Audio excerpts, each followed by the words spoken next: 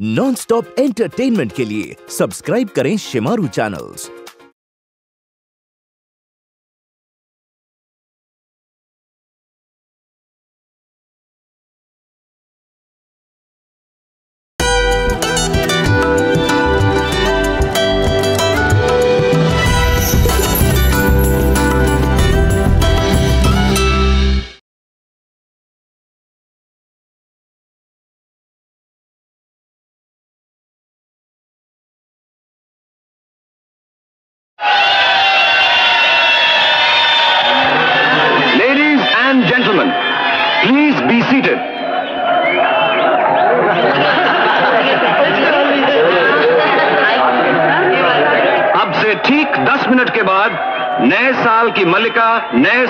स्वागत करेंगी। अब हम नए साल की मलिका को चुनेंगे। Let's choose the queen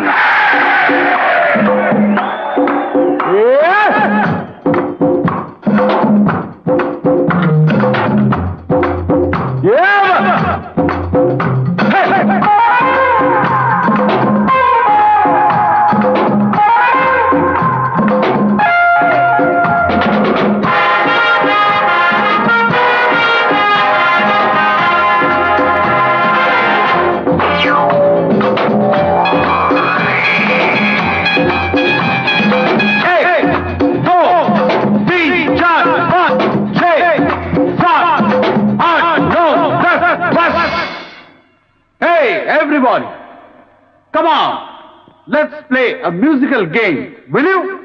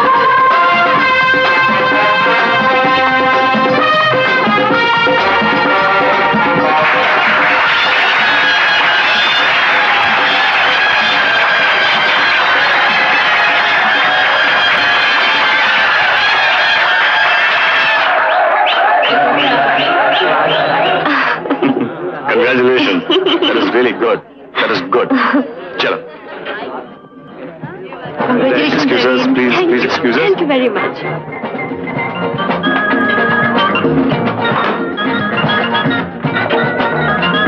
I never imagined that I was going Yeah? to win. It just came as a surprise. Yeah. And when we were... hi Vinu कैसे हो फाइन विनू जरीन को जरा बाहर में ले जा वहाँ मेरा टेबल बुक है और मैं एक फ़ोन करके आता हूँ good luck I'll be I'm coming See you. All right. How are things? Oh, it was very nice. And how have you been? Fine. Yeah, that's what he told me. But you know, I didn't believe it. Please sit down. Pinu, Huh? मेरे लिए drink लेकर आना please My pleasure, Zarina. Thank you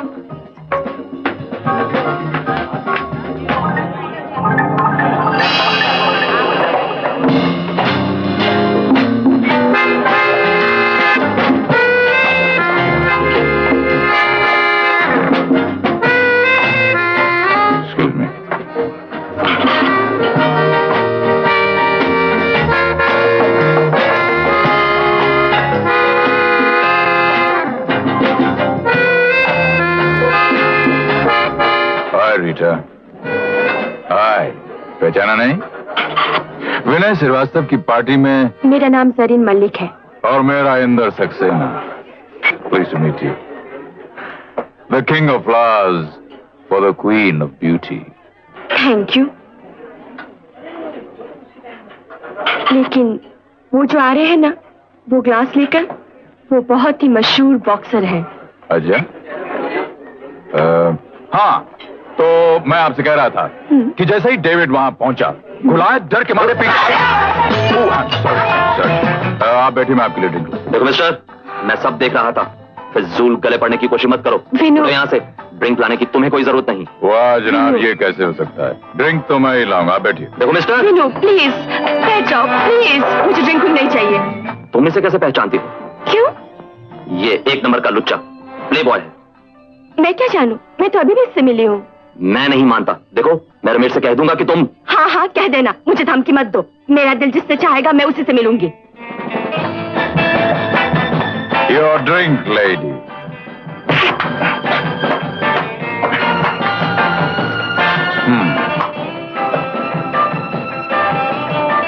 हाँ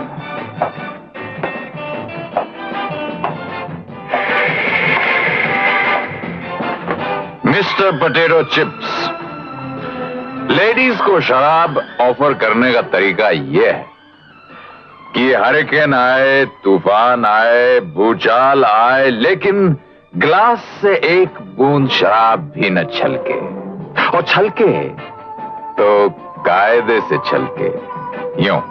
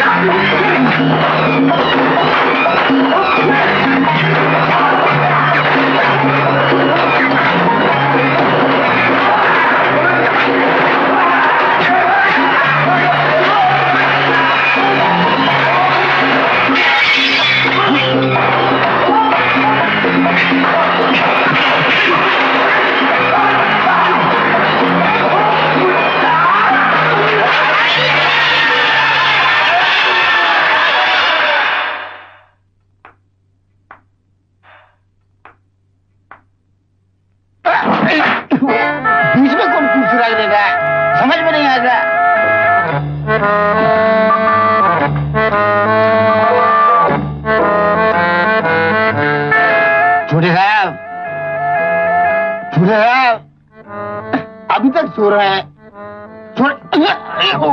बाबूराम बाबूराम खुद सीधा हो जाओ। बाद में दूसरे को सीधा करो। इसमें क्या छोटे साहब का हाथ? नहीं।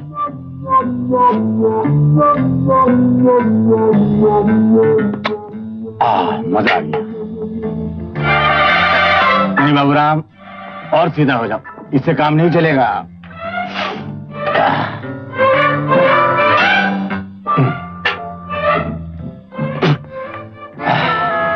बिल्कुल ठीक। छोटे साहब छोटे साहब उठिए ग्यारह बज गए।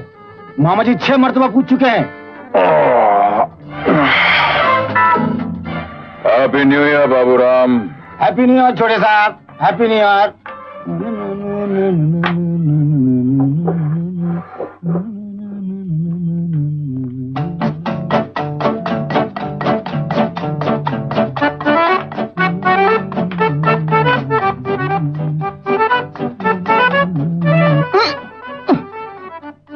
जब में से गिरा होगा बहुत माला उठा लो जेब में डालो जेब में डालो जेब में डालो।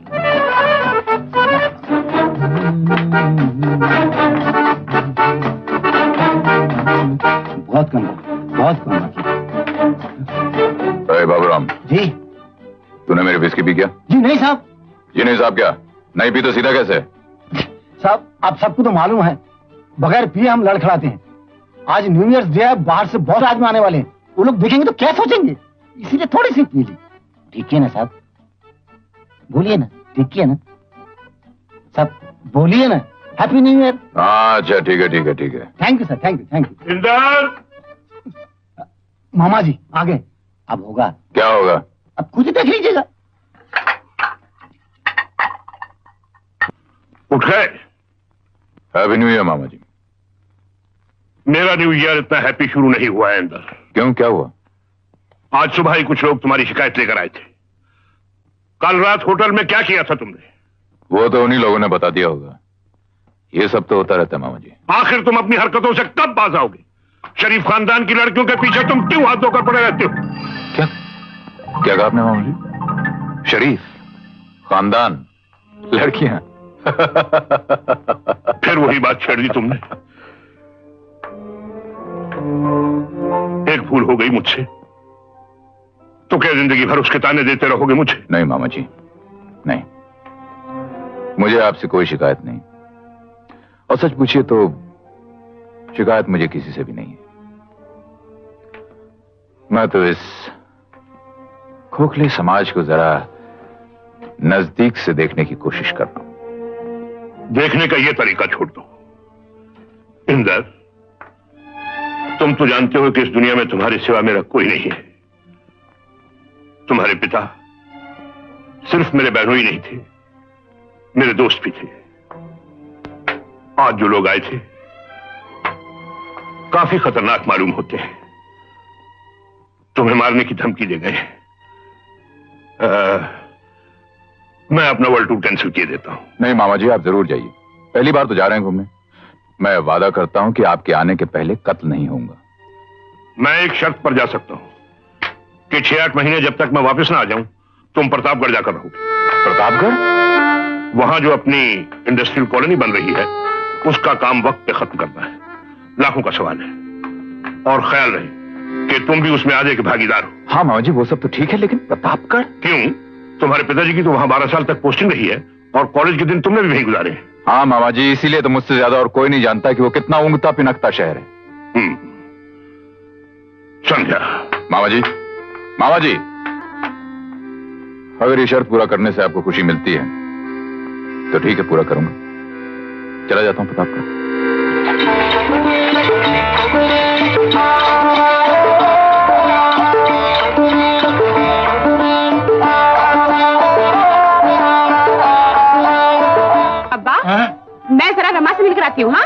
बेटी थकी हारी आई हो हाथ मुँह धो लो फिर जाना। ओहो हाथ मुँह तो ट्रेन से उतरने से पहले ही धो लेते अब्बा। आप जरा सामान संभाल लीजिए। अच्छा। हाँ भाई ला सामान लाओ। ये लो।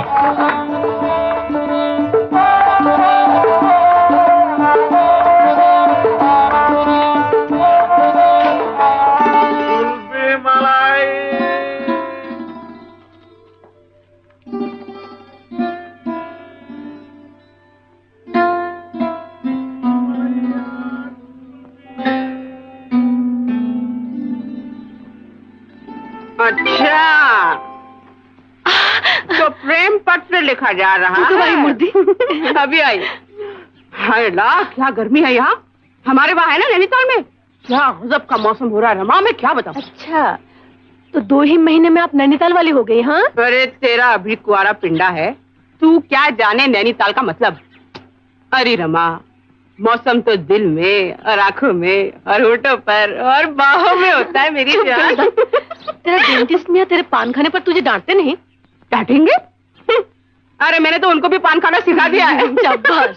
बहुत अच्छा किया। तू लिख क्या रही थी? फिर भी? कविता। क्या? तो तुझे भी लग गया ये रोग तेरे दूल्हा भाई को भी शायरी का चस्का पड़ गया? लेकिन डेंटिस्ट है ना तो सिर्फ़ मेरे दांतों की तारीफ़ में लिखा करते हैं शेर। पागल। अल्लाह कसम रमा शादी होती है बड़े मज़े की चीज़। मैं तो आज ही उन्हें खत लिखने वाली हूँ कि तुम जल्दी से आ जाओ बस। आए एक मुसीबत तेरे घर में। वो कहना तूने रख ना मेरे लिए? बाहर फेंकना थू चाचान कैसे है री? वैसे ही है। देख रमा जब तक अब्बू का इलाज चलता रहेगा ना कोई फ़ायदा नहीं होने वाला। तू किसी आई स्पेशलिस्ट को क्यों नहीं दिखाती? अरे जब मरीज़ खुद अंधा होने पर तूला बैठा हो तो कविता बेचारे क्या करें? उन्होंने तो पढ़ना लिखना बिल्कुल बंद कर रखा है। लेकिन पिताजी का ये हाल है कि मैं जरा सी इधर उधर हुई नहीं कि चश्मा चढ़ाकर बैठ जाते हैं। अच्छा अब अपनी सुना। कैसे गुजर रही है? ये शायरी वायरी क्यों शुरू कर दी तूने? तो और क्या करती? तेरे जाने के बाद बिल्कुल बोर हो गई। कैलेंडर ना देखूँ तो तो एक दिन को दूसरे दिन से अलग करना मुश्किल हो जाए। कहा मान? शादी वादी कर डाल। किससे? इस दीवार से? या उस खिड़की से? क्यों? तेरे नमस्ते जी क्या बुरे हैं? हैं? अरे वो ही अपने पंडित प्रेम प्रकाश त्रिवेदी साहब। आते जाते तो होंगे रमा। रोज बीला नागा सुबह आठ बजे और शाम को चार बजे। अच्छा? फिर तो तू मान या ना मान। चक्कर तेरा ही है। हम्म, चक्कर मेरा ही है। आँख उठा के देखते हैं नहीं मेरी तरफ़।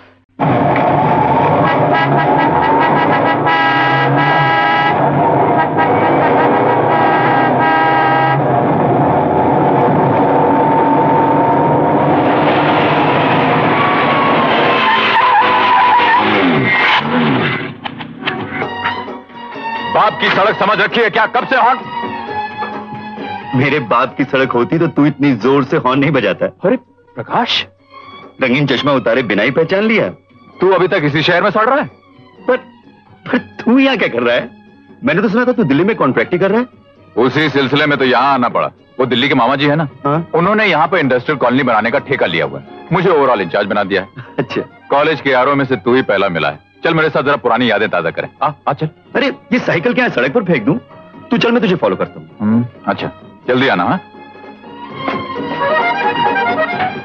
नमस्कार मैनेजर बाबू। आइए आइए आप ही का इंतज़ार था।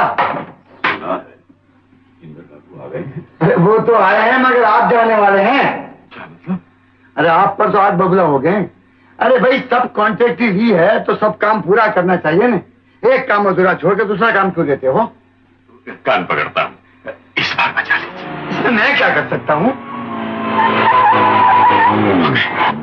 कुछ भी कह दीजिए। कह दीजिए मेरी धर्म पत्नी गुजर गई है। और एक धर्म पत्नी तो कुछ साल पहले गुजर भी चुकी है। गुड मॉर्निंग सर एक गुड मॉर्निंग सर अंजाम क्या खबर? क्या बताऊँ सर बड़ी मुसीबत में फंस गया हूँ। मुसीबत? जी वो अभी कुछ पंद्रह दिन हुए। बैठे बैठाए मेरी घरवाली का हार्ट फेल हो गया सर अरे रे रे रे रे। सरकार को लिखे देता हूँ कि एक सब कंट्रैक्टर की पत्नी के गुजर जाने की वजह से कॉलोनी वक्त पर तैयार नहीं हो सकती। जो नुकसान होगा वो आप मैं मर जाऊँगा सर। मैं मर जाऊँगा। आप क्यों मर जाएँगे जब मरने के लिए आपकी पत्नी मौजूद है? झूठ बोलते शर्म नहीं आती आपको? अभी अभी आपके घर से आ रहा हूँ। आपकी पत्नी ने मुझसे कहा कि आप यहाँ सोलिसिटर साहब से कहिए इनके अगेंस्ट लीगल कार्यवाही शुरू करें। सर मेरा वक्त मत जाया कीजिए। चाहिए चाहिए आ जाए हाँ हाँ प्रकाश। अरे वो सीमेंट क्या परमिट तो पंद्रह दिन से पहले नहीं मिल सकता सर। कितने साल से आप मेरे साथ काम कर रहे हैं? अभी तक आपको ये नहीं मालूम हुआ कि परमिट कैसे हासिल किया जाता है? तीन दिन के अंदर वो परमिट आ जाना चाहिए समझे? हाँ प्रकाश। चलो मैं गुड मॉर्निंग इंदर जी। अरे माधो साहब आइए आइए। प्रकाश तू चल आइए माधव साहब।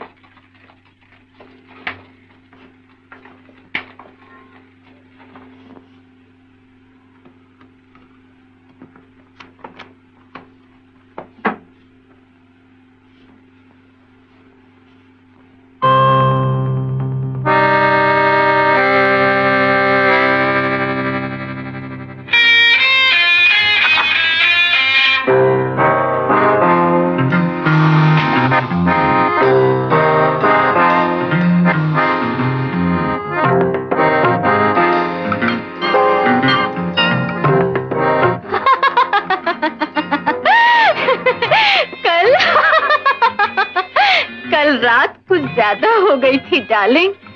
देखो ना तुम भी तो कोई और नज़र आ रहे हो। अरे तुम तो वाकई में कोई और हो। खैर कोई बात नहीं। एक सिगरेट दोगे? जी मैं मैंने पीता। तो इसमें घबराने की क्या बात है? यही तो था। यही तो था पैकेट।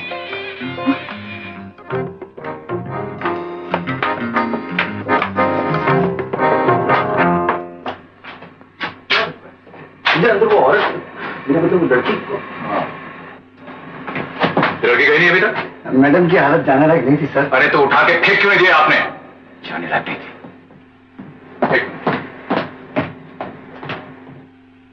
तुम गए नहीं अब तक? सिगरेट का पैकेट नहीं मिल रहा डार्लिंग। मैंने कहा तुम गई क्यों नहीं अब तक? रात को तो तुम ऐसे नहीं डांटते। ये रात नहीं दिन है। चलो कपड़े पहनो पिछले दरवाजे से निकल जाओ। चलो। सुनो एक दो सौ रुपया एडवांस मिलेंगे? मुझे नई परफ्यूम लेनी है। ये लो। और जाओ। फिर कब आऊँ गलवा दूँगा। प्रकाश चला बाहर जाके बागीचे में बैठ। यहाँ बात करने की चैनी नहीं अरे देख कोई नाश्ता बना के बाहर बैठ। जल्दी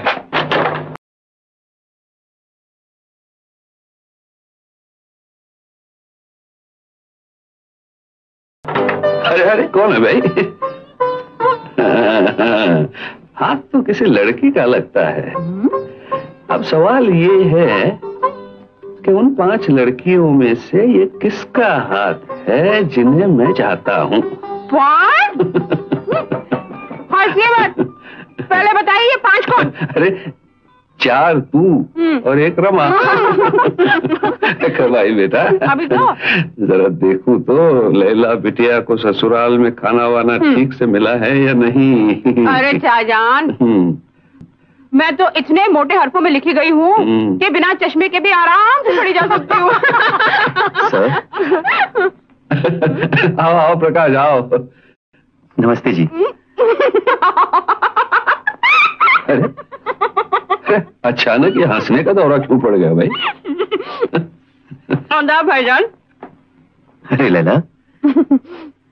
लगता है किसी ने आपसे कह दिया है कि आप नीचे देखते हुए ज़्यादा खूबसूरत दिखाई देते हैं। मेरी बात सुनिए। ज़िंदगी कदमों में नहीं सामने होती है। हम्म। आओ आओ आओ प्रकाश आओ बैठो। भाई वो प्रूफ आज देख के खत्म ही कर दो। हाँ जी। भाई मैं तो साफ़ कहूँ तुम्हारे नमस्ते जी तो बस गए काम से। बोल रमा मैं चाजान से कहकर शादी की बात पक्की करवा लू? देख लेला मैं प्रकाश जी की इज़्ज़त करती हूँ सिर्फ़ इज़्ज़त और कुछ नहीं। अरे फिर तो इसे साफ़ क्यों नहीं कह देती? कि वो यहाँ आया करे? मैं क्यों कहूँ वो अपनी मर्ज़ी से आते हैं पिताजी की आत्मकथा लिखने। मेरे लिए थोड़ी आते हैं। आज भी रोज जैसा ही हुआ। क्या ऐसा नहीं हो सकता कि बात मुझे कहनी ना पड़े? और रमा जी समझ लें कि रोज बिना नागा ठीक उसी वक्त मैं सिर्फ़ डिक्टेशन लेने या एक प्यारी चाय पीने नहीं आता। यही बातें लगभग इन्हीं शब्दों में मैंने कल भी लिखी थी और शायद कल भी लिखूँगा।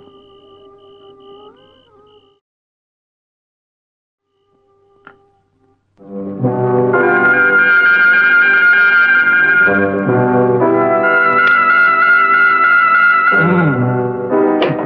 शंकर तुम अपनी आँखों के साथ बड़ी ज्यादती कर रहे हो।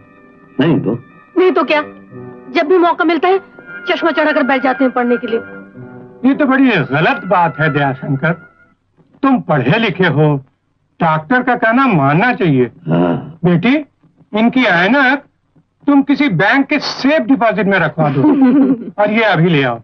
अबू हाँ? मैं भी चली जाऊँ हाँ हाँ। और लचिया से चाय के लिए कहती जाना। सैकरन दीजिए। हाँ? सैकरन। सैकरीन? बेटी कभी कभी चीनी वाली चाय पी लेने से नुकसान नहीं होता। आपको डायबिटीज़ है ना? हुँ? दूसरों को परहेज बताते हैं और खुद बदपरहेजी करते हैं। अरे ये बड़े लालची है रमा। कल घर के पिछवाड़े खड़े। लबालब मलाई बर्फ़ खा रहे थे ये हमने देखा। देखा दया शंकर मियाँ शमशुद्दीन कह रहे थे जन्नत में मलाई बर्फ़ मिलेगी नहीं। अरे अरे तू जैसे गुनाहगार को जन्नत में कहा जगह मिलेगी? पिताजी हम दवाई लेके आते हैं। हाँ जाओ बेटा जाओ जाओ। हम्म, दयाशंकर हाँ, बच्चों के सामने मैंने कहा नहीं तुम्हारी आँखों की हालत बहुत ही खराब है।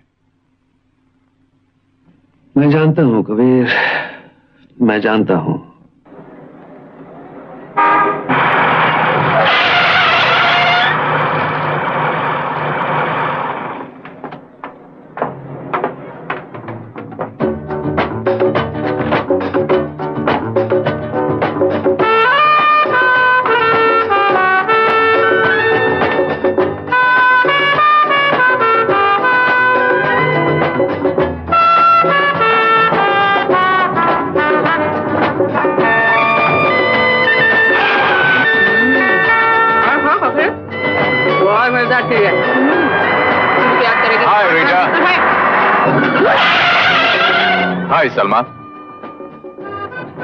नहीं आपने।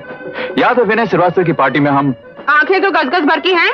हम आपको रीटा सलमा दिखाई दे रहे हैं। अरे नाराज़ होने की क्या बात है? नाम में क्या रखा है? चलिए इसी बहाने मुलाकात हो गई। आप दोनों कहाँ जा रहे हैं? मैं आपको कहीं छोड़ दूँ? जी नहीं। अरे ये कैसे हो सकता है? ऐसी चिलचिलाती धूप में आप दोनों के खूबसूरत गोरे चेहरे काले पड़ जाएँगे। आइए बैठिए। जूते खाने हैं क्या? जी। जूते खाने हैं क्या? चल बात क्यों बढ़ाती है? इन लोगों की गाड़ी जितनी बड़ी होती है तमीज उतनी ही छोटी। चल।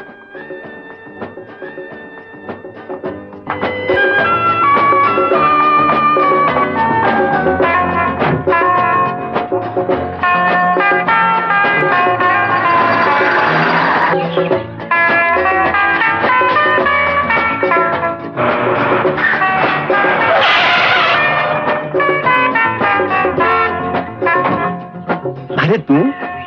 तू तो लखनऊ जा रहा था। अरे गोली मार लखनऊ शहर को यार आज तो मैं अरे काका तुम्हें तो यहीं जमे हुए हो? हाँ बेटे। ऐसा करो एक गर्मा गर्म प्याली चाय पिला दो। अभी लाया? तो हुआ क्या? यार प्रकाश आज तेरे इस फटीचर शहर में मैंने दो खूबसूरत परियाँ देखी। सोचा लिफ्ट दे दू। लिफ्ट की बात सुनते ही जो झाड़ पड़ी आपकी गाड़ी जितनी बड़ी है उतनी ही छोटी आपकी तमीज। लेकिन तुझे लिफ्ट देने की ज़रूरत ही क्या थी? हैं? अमा कमाल करते हो यार। चिलमिलाती धूप में दो खूबसूरत लड़कियाँ झुलस रही हों। और अगर उन्हें लिफ्ट न दी जाए तो इतनी बड़ी गाड़ी रखने का फ़ायदा क्या है? वैसे एक बात कहूँ, ये लिफ्ट शब्द है तो बड़ा मामूली सा, लेकिन कमाल का है। तुमने किसी लड़की को अकेले जाते हुए देखा? कार रोकी और लड़की से पूछा, मैं आपको कहीं छोड़ दूँ? जवाब का इंतज़ार किए बगैर ही तुमने गाड़ी का दरवाज़ा खोल दिया। अगर लड़की ने नखरा किया तो समझो बात बन गई। वो लड़की आवारा है। और अगर वो आवारा नहीं है तो या तो शुक्रिया अदा करके वो इनकार कर देगी, या फिर गाड़ी में बैठ जाएगी। अगर गाड़ी में बैठ गई तो अता पता पूछ लिया। बस फिर बात को आगे बढ़ाना तुम्हारे हाथ में है, बेटा। प्रकाश, कभी अगर मैंने अपनी आत्मकथा लिखवाई तो लिफ्ट देने की कला पे एक पूरा चैप्टर लिखवाऊँगा। हाँ अब बता, ये तेरे इस फटीचर शहर में दो परियाँ कहाँ से आ गई? एक घरारा दुपट्टे पंडब्बे वाली थी और एक साड़ी वाली थी। मैं साड़ी वाली में ज़्यादा इंटरेस्टेड हूँ। अपना इंटरेस्ट कहीं और लगा। वहाँ दाल नहीं गलेगी तेरी। अरे दाल साली है तो गलेगी कैसे नहीं? पंडित जी नोटों के ईंधन पे तो पत्थर भी गल जाता है। नाम पता बता कर देखिए। दो हफ़्ते के अंदर अंदर अगर उसकी मुलाकात अपने बेडरूम में आपसे न करवा दी तो शर्त।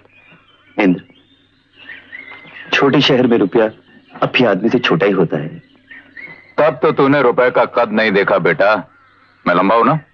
लड़कियाँ सीढ़ी लगा करके मेरे टॉप पॉकेट में घुसने के लिए आपस में झगड़ती हैं। मैंने कहा ना रमा जी ऐसी लड़की नहीं है। रमा जी हाँ। जिनसे आज तेरी मुलाकात हुई थी वो अपने प्रोफेसर शर्मा की बेटी रमा जी हैं। अच्छा अच्छा। और वो फिसलने वाली नहीं है। तुझे इन रमा जी पे इतना यकीन क्यों है? तेरा कोई चक्कर वक्कर तो नहीं है? भाई बता देना मैं लखनऊ चला जाऊँगा। मेरा कोई चक्कर वक्कर नहीं है मगर मगर तब फिर अपने मगर को जेब में तय करके रख। लगातार शर्त? हार जाएगा। तो क्या हुआ? लगा ले। मैं हारा तो हज़ार दूँगा जीता तो रुपया लूँगा। क्यों? डर गया? हम्म। हारा तो एक रुपया दूँगा और जीता तो एक रुपया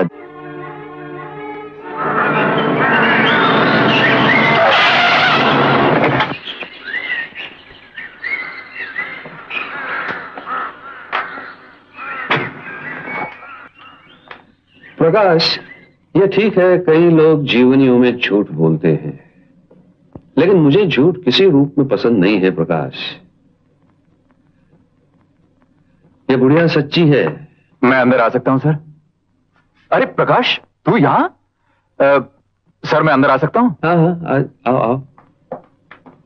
ये कौन है प्रकाश? सर ये इंद्र है। हाँ? इंद्र सक्सेना मेरे साथ पढ़ता था। हाँ। तुम वही इंदर हो ना जिसे मैंने क्लास से निकाल दिया था। हाँ सर।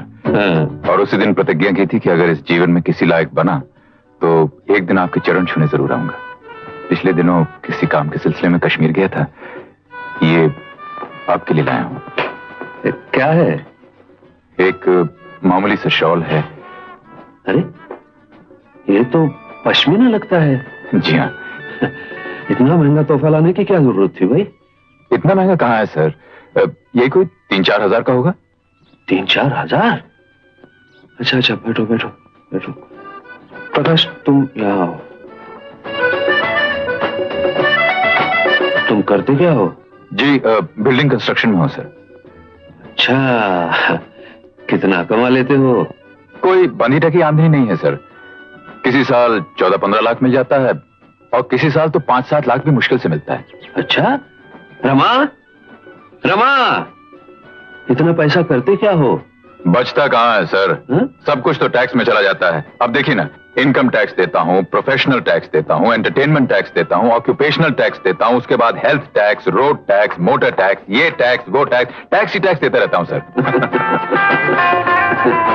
अरे रमा ये ये इंदर है मेरा पुराना स्टूडेंट है।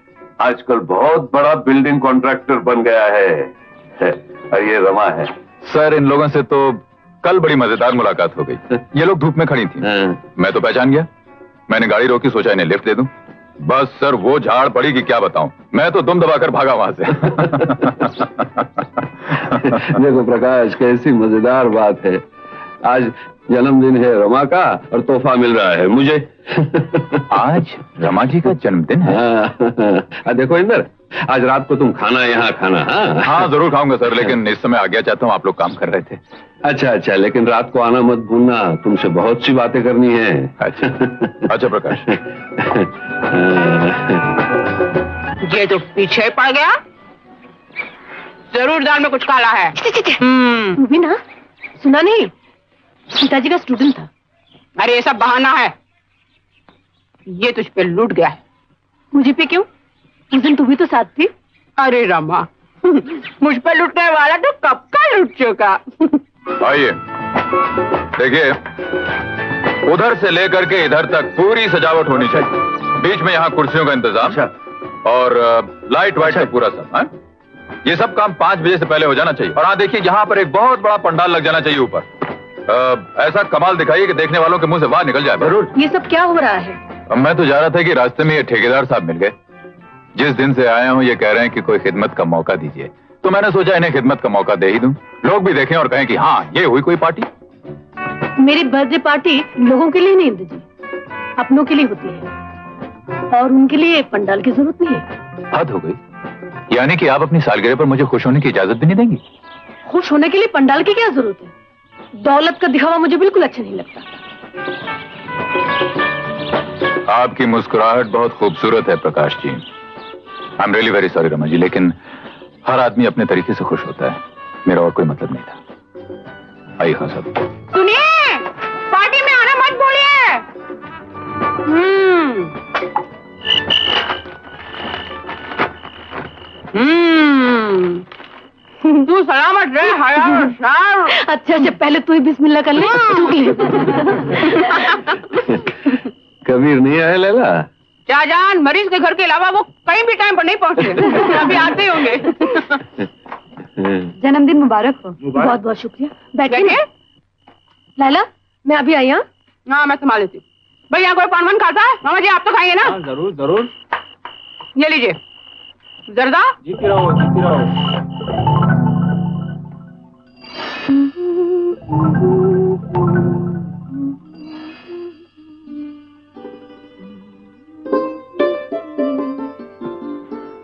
रमा जी। नमस्ते।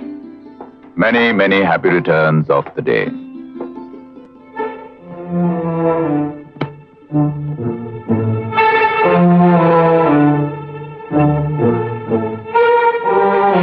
कितना सुंदर है। असली है ना? नकली चीज़ों में तो मैं बिलीव ही नहीं करता। कैसा लगा मेरा टेस्ट बहुत अच्छा। हम्म। तब तो मेरी मेहनत वसूल हुई। मैं आधे घंटे में कागज़ पे साइन करके अभी आता हूँ। सुनिए। जी? आप इसे वापस ले जाइए। क्यों? बुरा मत मानिए इंदर जी मुझे ज्वेलरी का शौक ही नहीं। बिला वजह ये घर में पड़ा रहेगा।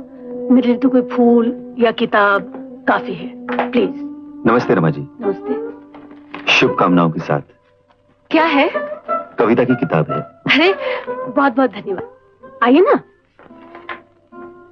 आधे घंटे के बाद ज़रूर आना।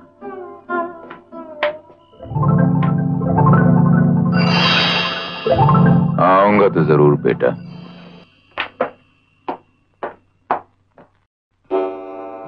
रमा रमा। जी पिताजी। अच्छा ग्यारह बज चुके हैं। तू ठीक ग्यारह बजे पैदा हुई थी ना? इसलिए तेरे जन्मदिन पर मैं ठीक इसी वक्त तुझे आशीर्वाद देने आता हूँ।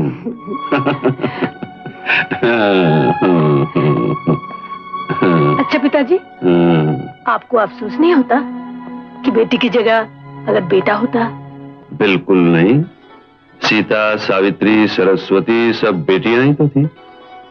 मैं आशीर्वाद देता हूँ बेटे तू ज़िंदगी में कोई काम ऐसा ना करे जिससे किसी को भी दुख पहुँचे।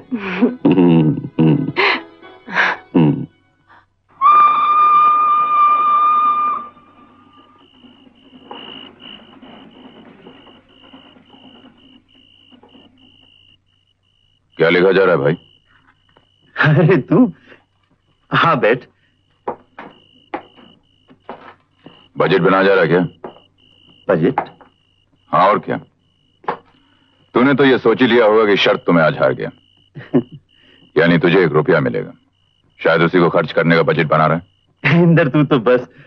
अरे जिस दिन ये शर्त लगी थी मैं तो उसी दिन जीत गया। नहीं दोस्त मैं यही कहने आया था कि ना तो अभी मैं शर्त हारा हूँ और ना तो जीता है। प्रकाश रुपया भेस भी बदलता है। क्या हो गया तुझे? क्या अनशन बक रहा है? अब तो जिद की बात भी आन पड़ी है। गुड नाइट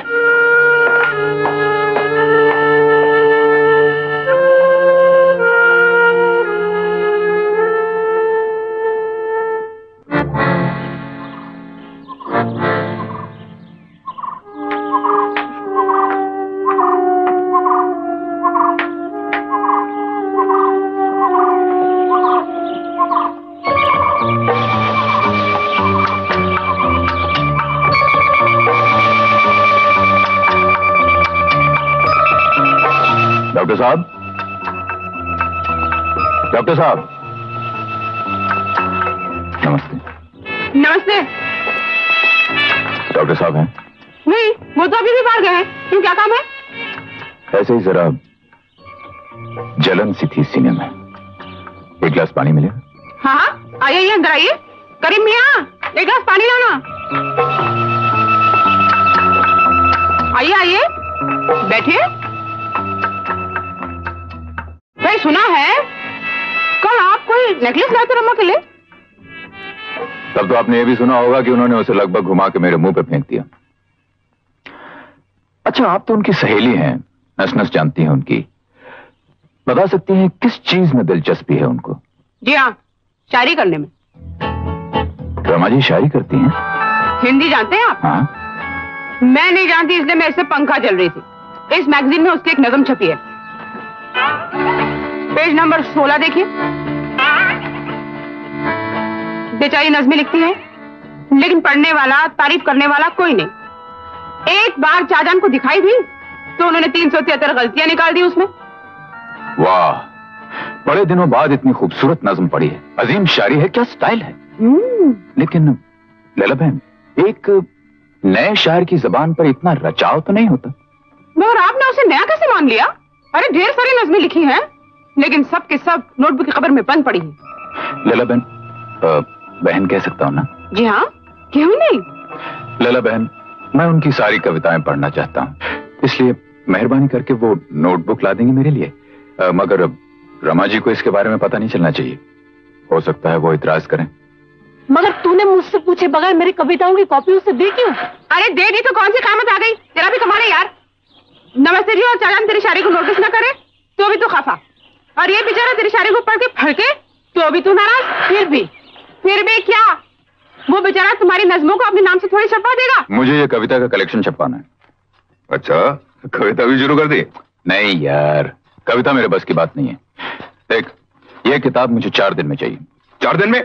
अरे कंपोजिंग होगी प्रिंट की जाएगी प्रूफ देख, देख, देख, ये महाभारत मुझे मत सुना हाँ ये ले। ये ब्लैंक चेक रख ले। अपने सारे स्टाफ को चार गुना ओवर टाइम दे देना। पैसे की फ़िक्र मत करना।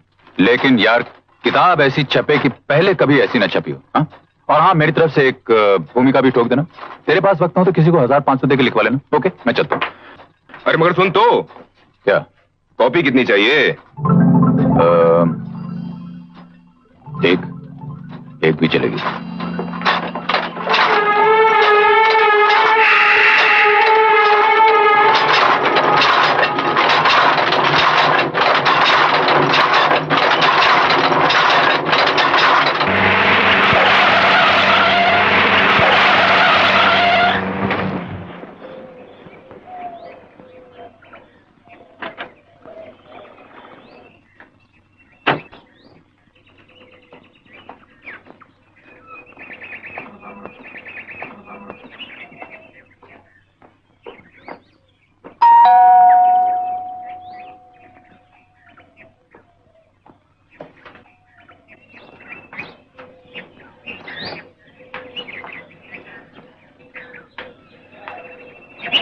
नमस्ते नमस्ते आप इस तरह मेरी कविताओं की कॉपी क्यों ले गए थे? उसी को तो वापस करने आया हूँ। उस दिन लीला बहन के यहाँ आपकी एक कविता पढ़ के मुझसे रहा नहीं गया। इसलिए मुझे माफ़ कर दीजिए। नमस्ते।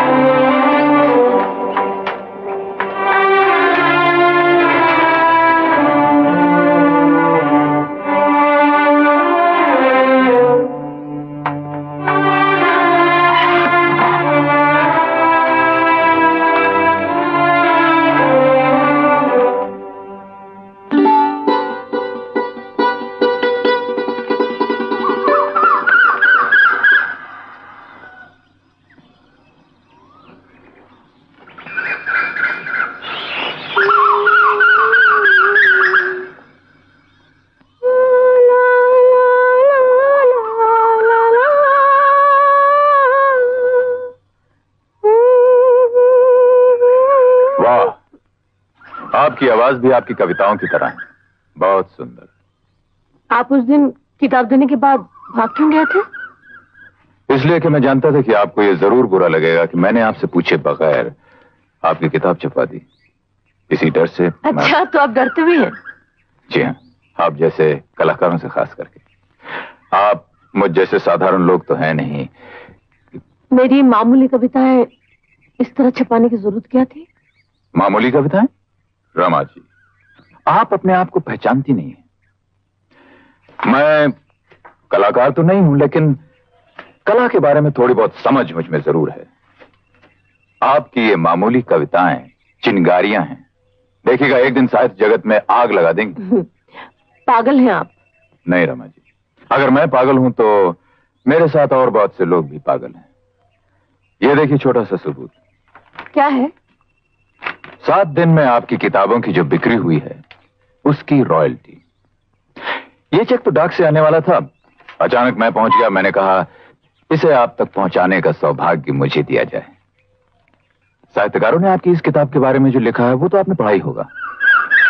नहीं तो? अरे पब्लिशर्स तो कह रहे थे कि उन्होंने रिव्यूज़ आपको भेज दिए।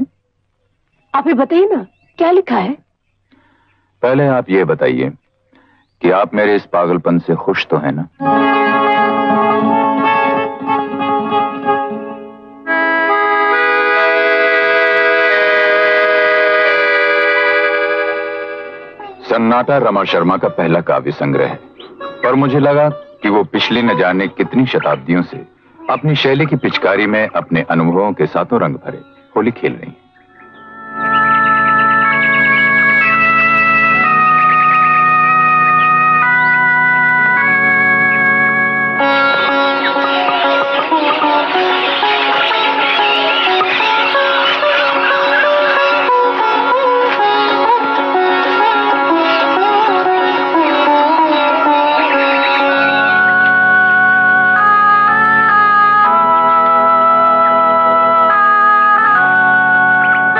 शाम को आप क्या कर रही हैं? क्यों?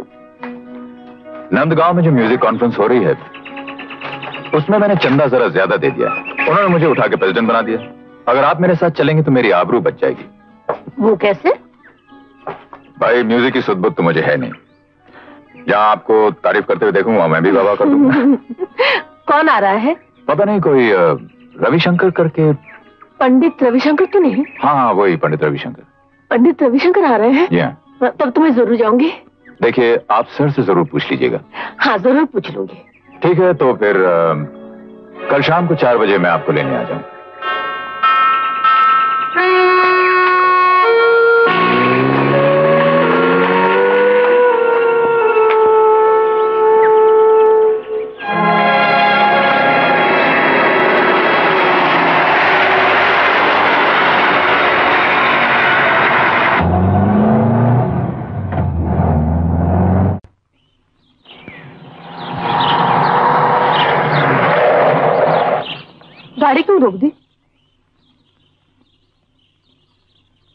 आपसे झूठ बोला था। क्या मतलब? रमा जी ये संगीत सम्मेलन का रास्ता नहीं है। रमा जी। रमा जी मेरी बात तो सुनिए। रमा जी। मैं हैरान हो गई हूँ आपकी हिम्मत देखकर। हैरान तो मैं भी हूँ रमा जी।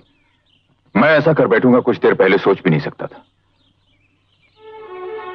मैं आपसे माफ़ी तो नहीं मांगूँगा। सिर्फ़ रिक्वेस्ट कर सकता हूँ कि आप मेरी इस हिम्मत की वजह ज़रूर सुन लीजिए। हाँ, मैंने ज़रूर झूठ बोला लेकिन सिर्फ़ इसलिए कि मैं आपके साथ रह सकूँ। जी हाँ। इस गुनाह की सजा भुगतने को तैयार हूँ, लेकिन जो गुनाह मैंने किया नहीं, उसकी सजा आप मुझे मत दीजिए। आपने मेरे कई पागलपन देखे हैं, लेकिन कभी कोई बदतमीजी, कोई बदचलनी देखी? नहीं। अगर मेरे दिल में जरा भी पाप होता तो क्या मैं आपके सामने इस तरह सर उठाकर खड़ा हो सकता था? अगर मैंने आपको चाहा तो सिर्फ़ इसलिए कि आप मुझे पवित्र बना देती। मैं सच कह रहा हूँ ना मुझे मैं जानता हूँ कि मैं इतना अच्छा आदमी नहीं हूँ, लेकिन आप में क्या मर्यादा है, क्या इज़्ज़त है? अच्छी तरह समझता हूँ, क्योंकि आप में मुझे वो शख्स दिखाई देता है जो अच्छा बनना चाहता है। रमा जी कुछ दिनों बाद मैं यहाँ से हमेशा के लिए जा रहा हूँ। कहाँ? मस्कट। चार छह आठ साल तक शायद मैं हिंदुस्तान वापस ना लौटूं। इसलिए मैं सोच रहा था कि आपके साथ एक शाम गुजारूँगा आपका गाना सुनूँगा ताकि चार छह साल उसी शाम की याद में गुजार दूँ। लेकिन चलिए आपको घर छोड़ दूँ। आज तो यह तय हो गया कि मैं किसी शरीफ लड़की के साथ शाम गुजारने लायक नहीं हूँ। थोड़ा ठहर के चलते हैं।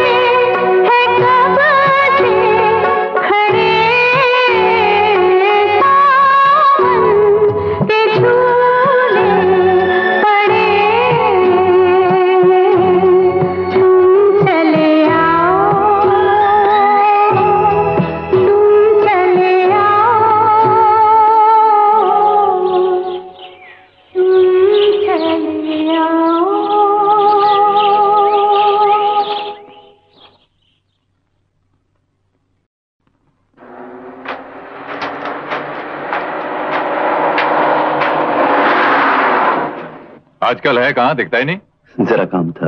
अमा काम को मारो गोली। इतना भी क्या काम कि तूने शर्त की खरीद नहीं पूछी? आज पंद्रह है भाई। मैं व्यापारी थोड़ी हूँ। साहित्य का विद्यार्थी हूँ। दिनों का हिसाब रखना नहीं जानता। हाँ तो मैं बता देता हूँ। आज पंद्रवा दिन है। चार साढ़े चार बजे के करीब आप घर आ जाइएगा एक रुपया लेकर। बेडरूम में मिलूँगा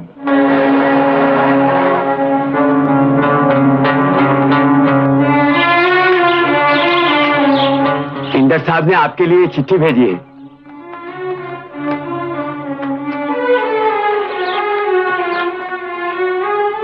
रमा जी आपने वादा किया है कि आज शाम की चाय आप मेरे साथ पीने वाली हैं। सोचा कि आपको याद दिला दूँ कि मैं आज चार बजे आपका इंतज़ार करूँगा इंदर। और हाँ मैं कल ही यहाँ से जा रहा हूँ। साहब ने जवाब मांगा है। हम्म? हाँ कह देना मैं आऊँगी। नमस्ते। रमा? अरे ओ रमा। क्या है पिताजी? अरे वो प्रकाश बहुत देर से आया हुआ है चाय वाय मिली ही नहीं। अरे मैं तो भूल ही गई थी। आज लक्ष्य भी छुट्टी पर है। चलिए मैं आती हूँ। हाँ। सुन बेटी वो प्रकाश कह रहा था इंदर हम लोगों जैसा नहीं है। उससे तेरा मिलना जुलना ठीक नहीं है। और सच पूछो तो मेरी भी यही राय है।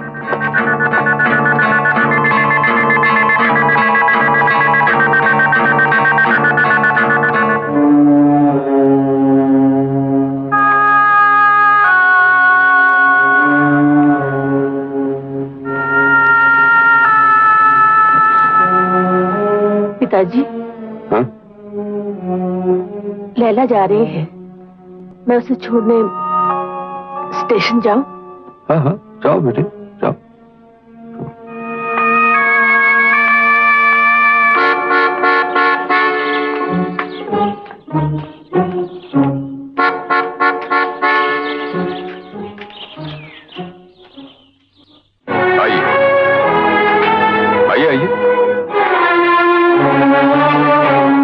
आज मैं एक शर्त जीत गया मेरे दिल ने शर्त लगाई थी कि आप नहीं आएँगे। और सच पूछिए तो अभी भी यकीन नहीं हो रहा है कि आप आई हैं। सपना सा लग रहा है। बैठिए बैठिए।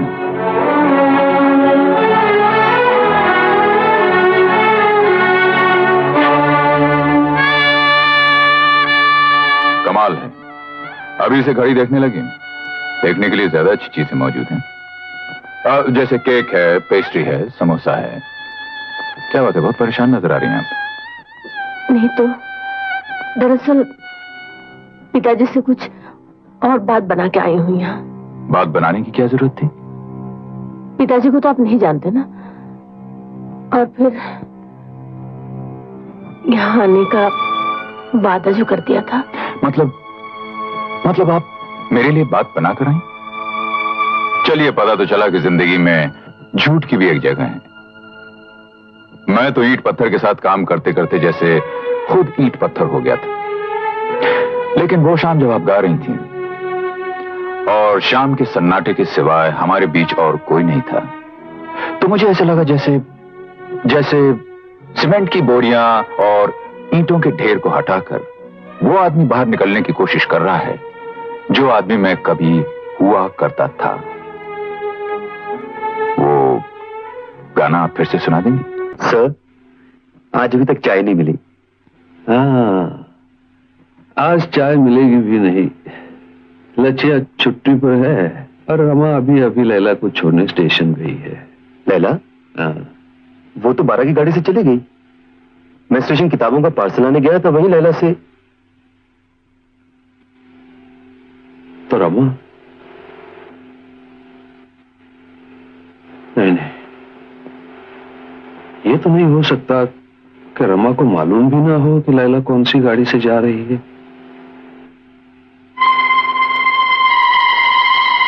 तो क्या रमा मुझसे झूठ बोलकर कहीं और गई है?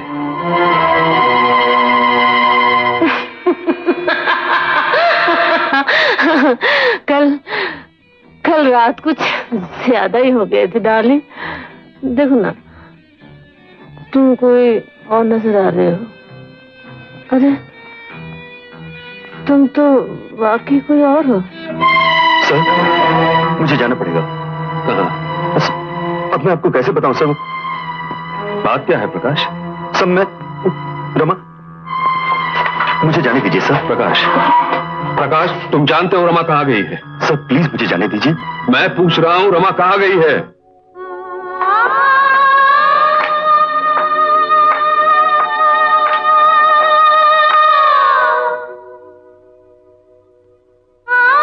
ए सुनो। ये अंदर कौन है? पता नहीं पर अंदर जाना मना है। मतलब डॉली की छुट्टी?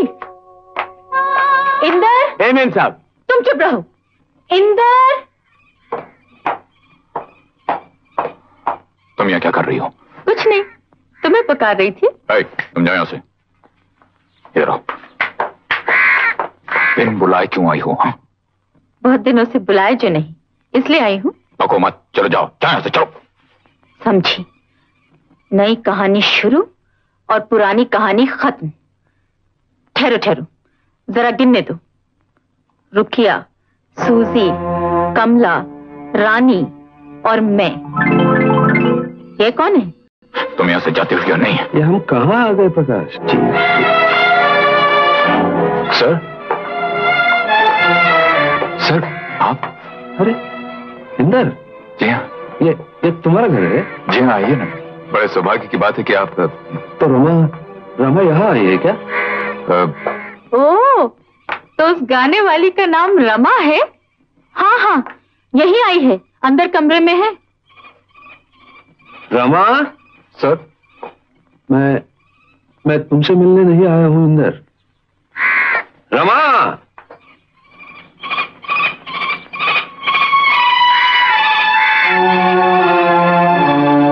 तो ये है वो स्टेशन जहाँ आने के लिए तुझे मुझसे झूठ बोलना पड़ा। This is too much old boy अरे जब कोई लड़की चोरी छिपे रोमांस करेगी तो अपने बाप से झूठ नहीं बोलेगी क्या? शराब ये क्या शटअप शटअप लगा रखा है? मैं कोई खिड़की या दरवाज़ा हूँ जो बंद रहूँगी? चलो चलो ठीक है ठीक है मैं सब समझ गई। अब मेरी जगह रमा आ गई है तो तुम्हें मेरी ज़रूरत नहीं है। चलो कुछ पैसे निकालो। प्रकाश तुम तुम सब कुछ जानते थे और फिर भी चुप रहे। बता देते तो आज मैं अपनी बेटी को एक एक वेश्या और एक दौलतमंद आवारा लड़के के साथ देखने से बच जाता। तुम इतना गिर गई पिताजी पिताजी मैंने ऐसा कोई काम नहीं किया जिसमें कोई काम नहीं किया। और क्या करना चाहती थी तू? और क्या करना चाहती थी? Sir sir. प्रकाश जी पिताजी को यहाँ ले आने के लिए बहुत बहुत शुक्रिया। बेशरम अपनी करतूत नहीं देखती और प्रकाश पे इल्ज़ाम लगा रही है। छूटी। प्रकाश इस नरक से मुझे ले चलो बेटा। मुझे ले चलो।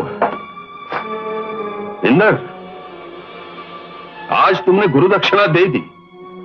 चलो प्रकाश चलो।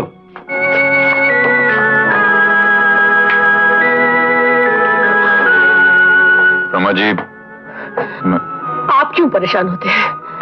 मैं इसी लायक थी। चाय पिलाने के लिए बहुत बहुत शुक्रिया। देखिए रमा जी इसमें मेरा क्या कसूर है? आप मुझे सुनिए मैं रमा हूँ डॉली सूजी नहीं हूँ।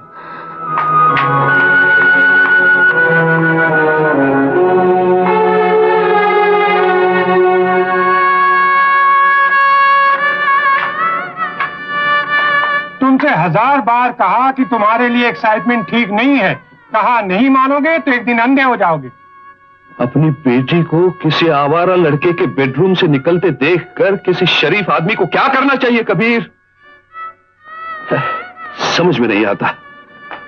उससे उसे पालने में कहाँ भूल हो गई तुम कह रहे हो, आँख चली जाएगी। अरे बेटी चली गई तो आँख में क्या रखा है, कबीर? वो जन्म ना लेती तो अच्छा होता। और पैदा हो ही गई थी। तो आज का दिन आने से पहले मर गई होती तो और अच्छा होता।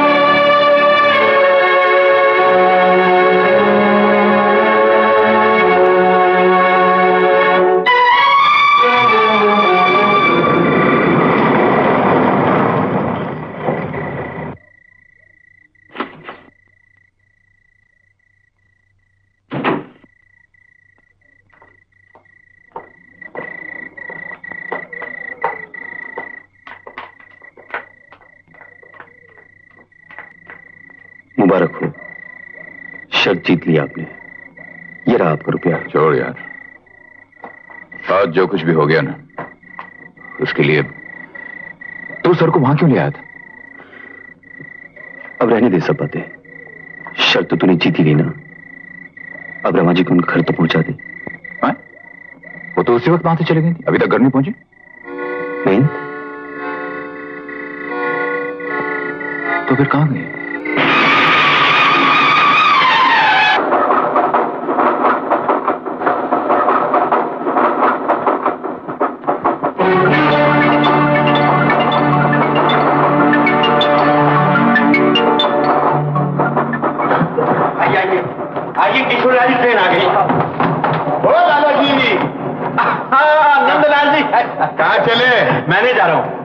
साले साहब जा रहे हैं। ओहो साले साहब नमस्कार। जरा टिकट दिखाइए आइए लीजिए जी नहीं इससे काम नहीं चलेगा। क्यों? अजी इनको मशीन पे तुलवा कर ब्रेक वैन में बुक करवाइए। सवारी गाड़ी में कम से कम दो ढाई टिकट लगेंगे। क्या क्या क्या, क्या मतलब? अरे अरे लाला जी के आप खाने हैं तो गाँव के रिश्ते में हमारा भी कुछ लाला जी! अपना टिकट तो दिखाइए। ये तो हम छोड़ने आए हैं। हाँ तो खाली प्लेटफार्म टिकट दिखाइए ना। अरे निकालिए पचास पैसे। सरकारी प्लेटफार्म है। और जाते वक्त टिकट ले जाइएगा जरा। हाँ, धन्यवाद धन्यवाद। आइए जल्दी अरे मगरू! जल्दी से भैया पार्सल उतर वाले। जल्दी कर जल्दी कर। ए भाई टिकट है कि लिया था। हाँ। बहन जी यहाँ गाड़ी कितने देर तक रुकती यही एक दो मिनट क्यों? बहुत प्यास लगी है पानी पीना है। हाँ जाइए। यही तो पानी है। ये लीजिए। हाथ मुँह भी धोकर आइए। यहीं तो सात आठ डब्बे लेकर बैठो मैं भी आता हूँ।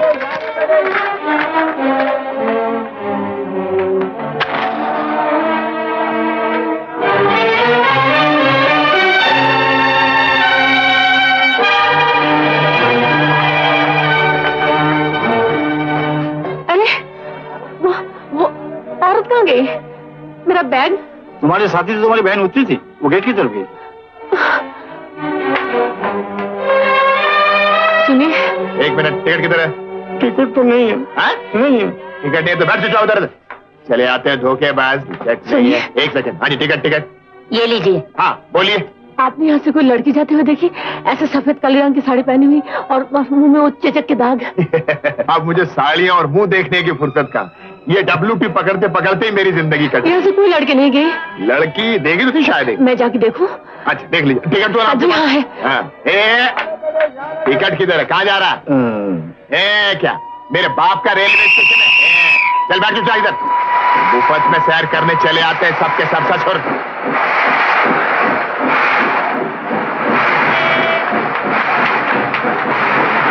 कहाँ जा रहे छोड़ दो गाड़ी छोड़ दो छोड़ दो अरे क्या हुआ क्या हुआ क्या बात है? देखिए ना मैं इस ट्रेन से जा रही थी पानी पीने नीचे उतरी तो एक लड़की।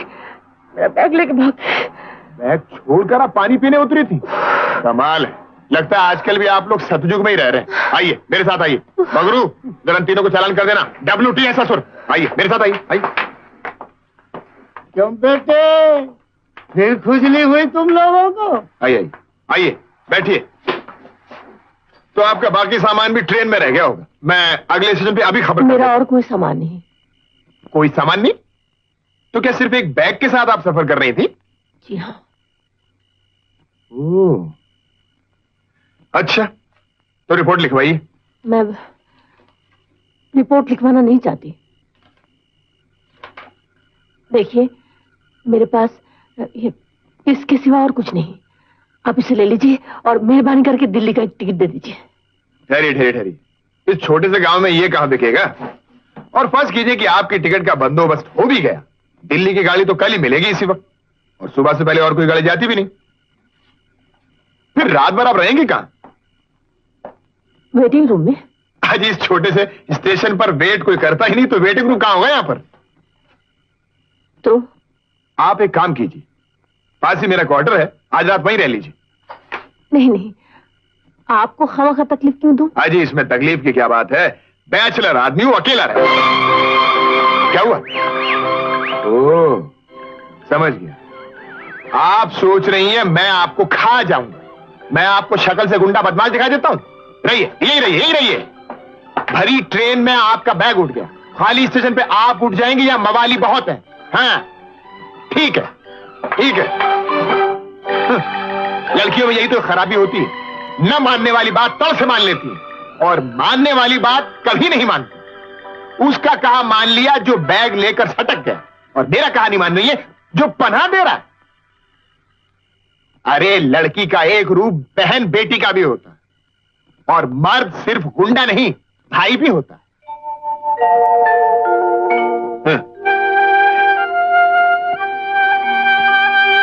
ठीक है।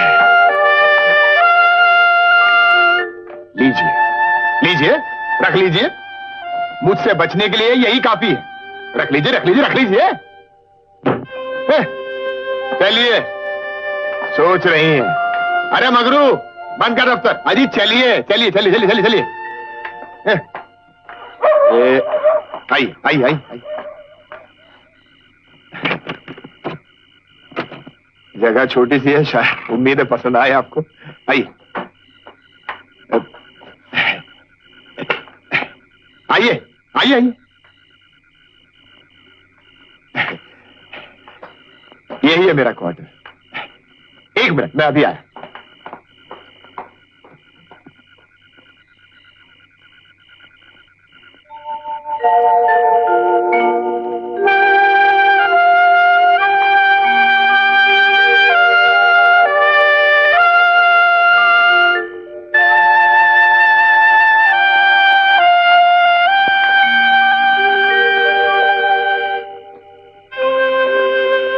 ये मेरी बहन सुधा की तस्वीर है।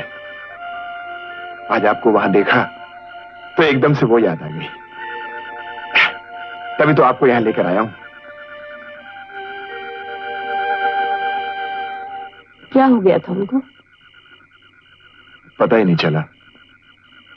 शादी के दो महीने पहले आध घंटा बीमार रहकर यही डबल खराबी है मुझमें।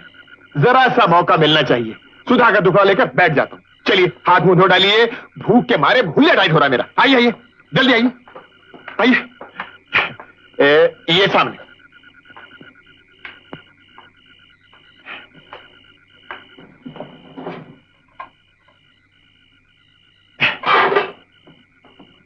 जल्दी कीजिए, भूख लग रही है। वक्त पड़ने पर मैं किसी के लिए जान भी दे सकता हूँ, लेकिन भूखा नहीं रह सकता। मगर सुनिए, आज आधा पेट ही खाना पड़ेगा। मुझे क्या मालूम था कि आप आ रही हैं? आप खाना खा लीजिए। मैं नहीं खाऊँगी। आप तो कल शाम की गाड़ी से दिल्ली जा रही हैं ना? हाँ। तो कल शाम तक के लिए मेरे लिए मेरी सुधा बन जाओ ना। आओ। जो कुछ भी है हम दोनों भाई बहन मिलकर खा लेते हैं। बैठो।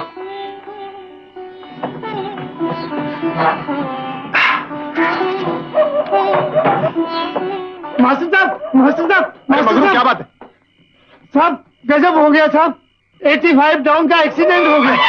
एक्सीडेंट हाँ साहब पाँच कोस आगे। फ़ोन आया ट्रॉली आ रही है। अरे तू तू तू चल मैं मैं अभी आया। अरे देखा? भगवान जो करता है ठीक करता है। जिस ट्रेन में तुम सफ़र कर रही थी उसी का एक्सीडेंट हुआ है। अच्छा मैं चलता हूँ। शायद कल सुबह तक आऊँगा। तुम फ़िक्र मत करना। आराम से खाना खाकर सो जाना, है? आओ, पहले दरवाज़ा बंद कर लो। आओ जल्दी करो जल्दी करो।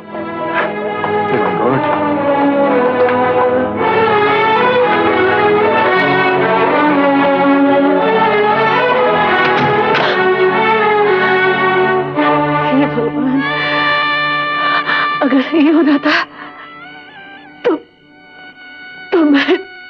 से क्यों उतर गई? मैं ट्रेन से क्यों उतर गई?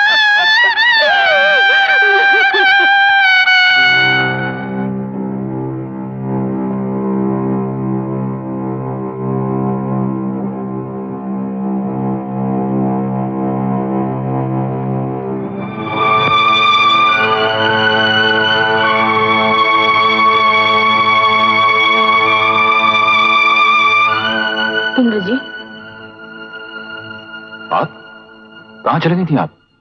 पहले आप मेरी बात का जवाब दीजिए। मैंने आपका क्या बिगाड़ा था? जो आपने मेरे साथ ये नाटक किया।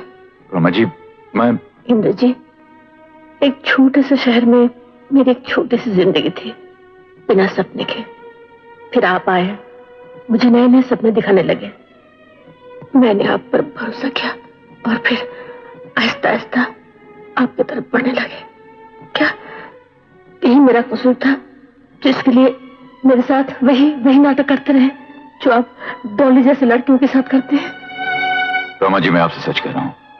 ये सब कुछ शुरू नाटक से ही हुआ था लेकिन आपके जाने के बाद वो नाटक नाटक नहीं रहा। सच्चाई बन गई थी। आप जानते हैं आपने मुझे किस रास्ते पर धकेल दिया है? मैं डॉली रुकिया तो नहीं बन सकती। मेरे लिए सिर्फ़ एक ही रास्ता है आत्महत्या।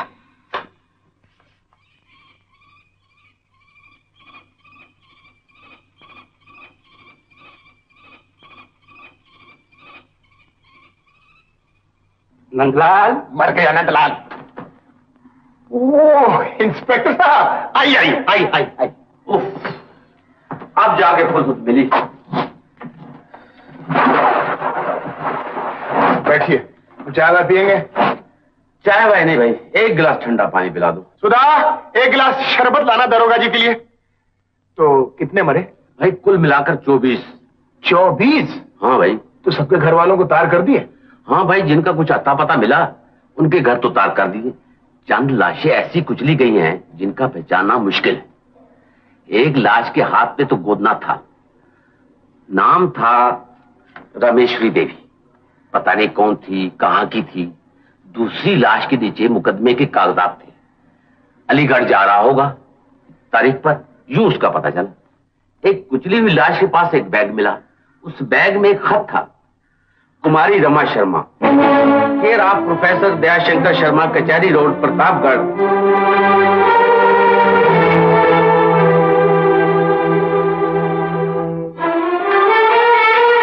दयाशंकर तुम्हारा तार कभी तुम पढ़ के सुनाओ ना।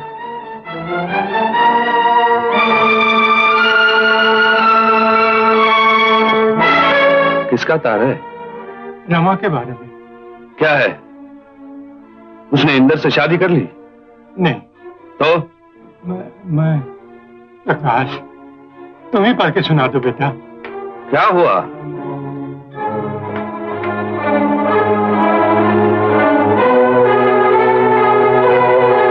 क्या है प्रकाश? मुझे दे दो प्रकाश मुझे दे दो। मुझे दे दो।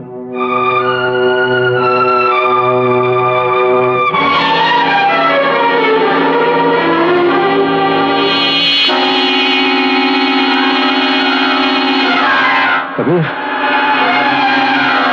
कबीर सब सब काला होता जा रहा है, कबीर। कबीर सब सब अंधेरे में डूबता जा रहा है, कबीर। कबीर कबीर मैं अंधा हो गया, कबीर। कबीर, मैं बिल्कुल अंधा हो गया, कबीर।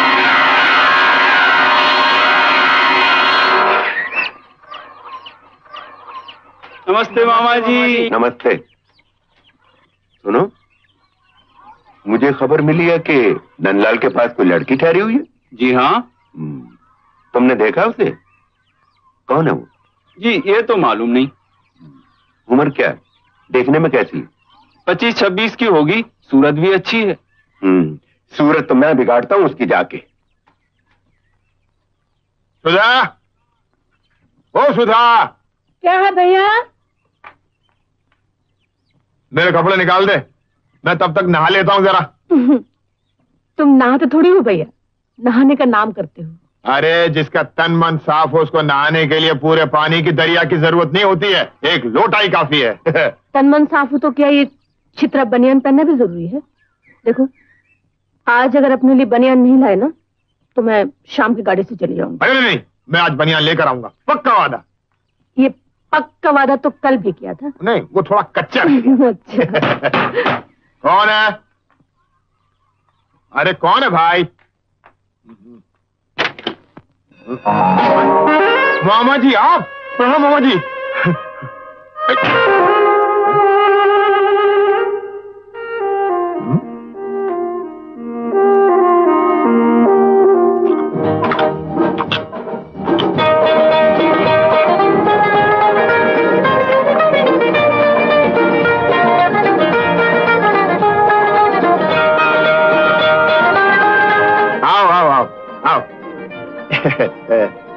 मेरे मामा जी पंडित प्रभाकर चतुर्वेदी संगीत शास्त्री। क्या नाम है तुम्हारा? सुधा शर्मा। तुम चुप रहो। तुमसे पूछा मैंने। क्या नाम है तुम्हारा? सुधा शर्मा। हम्म, ब्राह्मण हो? जी। गौत्र? हाँ हाँ हाँ मामा जी पटरी क्यों बदल रहे हो? कह रहा हूँ कि अपनी सुधा है और आपने गोत्र पूछना चालू कर दिया। हे भगवान क्या जमाना आ गया है। लड़की का बहन बेटी का रूप ही भूल गए हैं लोग। तू क्या खड़ी है? मामा जी के पाँव छू मामा जी के पाँव छू अरे आगे बढ़।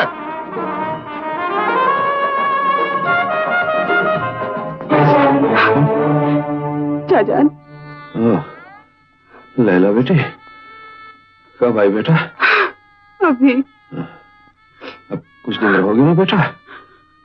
मेरा बस चले चाचान तू ज़िंदगी भर न जाओ। आपकी देखभाल के लिए कोई तो हो। अरे लच्छा जो है दो वक्त की रोटी तो पका ही देती है हाँ? सर अब मैं यही रहूँगा आपके पास नहीं इसकी कोई ज़रूरत नहीं बेटा इसकी कोई ज़रूरत नहीं है। आप मेरे पिता समान हैं सर। अगर इस वक्त मैंने आपकी देखभाल नहीं की तो और फिर मेरे आगे पीछे तो कोई बंधन है ही नहीं। मान जाइए ना चाचान प्रकाश भैया आपके पास रहेंगे। तो मुझे भी वहाँ तस्कीन होगी कि आप अकेले नहीं हैं। तीन चार पाँच। हम्म, भैया। तुम? एक बड़ी मुसीबत खड़ी हो गई भैया। मुसीबत? क्या मतलब? मामा जी मेरे बारे में पूछताछ कर रहे थे। हम्म। झूठ तो बोल नहीं सकती और सच अरे यही तो बुढ़ापे की खराबी है। जब अपनी ज़िंदगी में कुछ नहीं रह जाता तो लोग दूसरों की ज़िंदगी कुरेदने लगते हैं। तुम फ़िक्र मत करो। दफ्तर में चल के बैठो मैं अभी आया। हाँ? सब ठीक हो जाएगा। Ticket ticket. मगरू जाने दे गाड़ी। आप यहाँ के स्टेशन मास्टर हैं? जी। आपकी तारीफ़? इंदर सक्सेना। मैं उस एक्सीडेंट के बारे में कुछ पता करने आया। हूँ। आइए मेरे दफ्तर में आइए। आप जीवन बीमा से संबंध रखते हैं? जी नहीं। बैठिए। तो फिर पत्रकार होंगे किसी अखबार के? जी नहीं मैं उस लड़की के बारे में पता कराने आया हूँ जो उसी गाड़ी में थी। तो वो अब तक घर नहीं पहुँची? वो तो नहीं पहुँची लेकिन उसके बारे में तार ज़रूर पहुँच गया है। मैं रमा शर्मा की बात कर रहा हूँ। क्या आपने उसकी लाश को पहचाना? सात आठ लाशें तो बिल्कुल पहचानने लायक नहीं थी पर उनका बैग मिला था ना इसलिए हमने बैग मिलने से कैसे साबित हो गया कि रमा उसी डब्बे में थी? देखिए वो बैग खुद दिल्ली का टिकट लेकर दिल्ली तो नहीं जा रहा था। और ये भी नहीं हो सकता कि उसने रमा देवी का खत भी चुरा लिया हो। Don't try to be funny कभी यह भी सोचा कि उस तार का असर किसी पर क्या हो सकता है? अरे साहब तार पुलिस ने दिया था। आप मुझे क्यों डांट रहे हैं? जहाँ एक्सीडेंट हुआ वो यहाँ से कितनी दूर है? अ, कोई दस मील। कार जाती है वहाँ तक? जी हाँ। थैंक यू बाप रे ये तो तूफ़ान मेल था। अरे सुधा? सुधा? हाँ भैया? अरे। यहाँ क्यों खड़ी है? क्या बात है? कुछ नहीं भैया।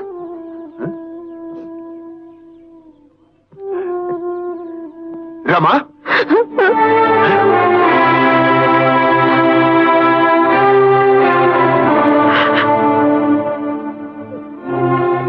वो आदमी कौन था? पड़ोसी। घर में कौन कौन है? पिताजी है। मैं भी उनको तार करता हूँ। करना। उनके लिए मेरा मर जाना अच्छा है। क्या बात है रमा? क्या बात है?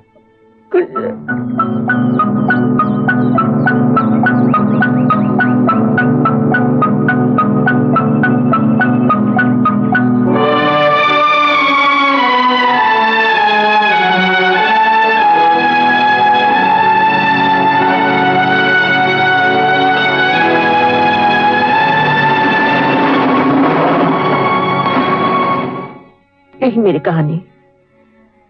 अब तुम बताओ भैया, इस हालत में मैं पिताजी के सामने कैसे जाऊँ? पूरे देश तक बहुत जीत जा रहा है भैया। न जाने वो कैसे है, किस हालत में है? बस किस तरह ही पता चल जाए कि उन्होंने मुझे क्षमा कर दिया तो भागते हुए चले जाऊँ। वो मेरे बिना जी नहीं सकते। मेरे बिना जी नहीं सकते। अच्छा अच्छा रो मत रो मैं छुट्टी लेकर चला जाता हूँ और तेरी तरफ़ से उनको देख कर आता हूँ। ठीक है? तुझे मेरी आँखों पर तो भरोसा है ना? है? मैं मामा जी को समझा दूँगा। तू उनके साथ बंबई चली जा हा? मैं चला जाता हूँ।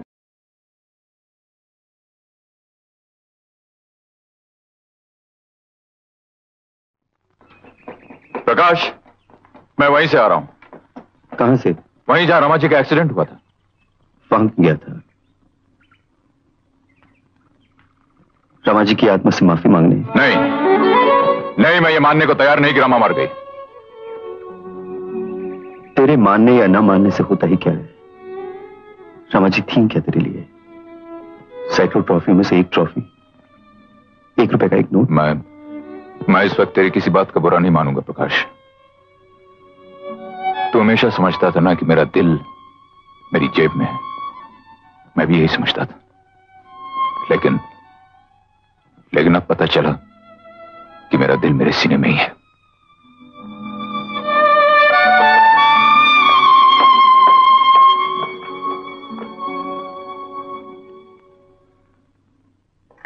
रमा पैदा हुई तो मेरे घर वालों के मुँह उतर गए। चाचान चाय लीजिए। तू क्यों लाई बेटा?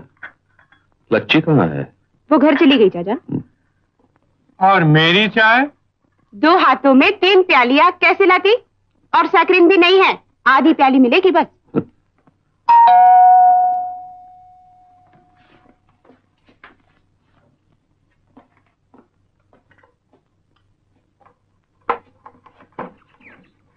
नमस्कार। प्रोफेसर दयाशंकर शर्मा जी का बंगला यही है? जी हाँ। मैं बहुत दूर से आया हूँ। मेरा नाम है नंदलाल। नंदलाल चतुर्वेदी। प्रोफेसर साहब के दर्शन कर सकता हूँ? हाँ क्यों नहीं? अंदर आइए ना। थैंक यू सर ये है नंदलाल चतुर्वेदी आपसे मिलने आए हैं। प्रणाम। अरे अरे अरे अरे। जीते रहो बेटा जीते रहो। बैठ जाओ।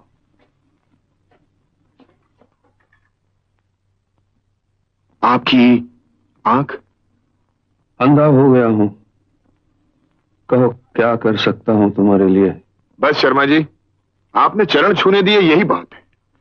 बस चाय पीने की बड़ी बुरी आदत है मुझे।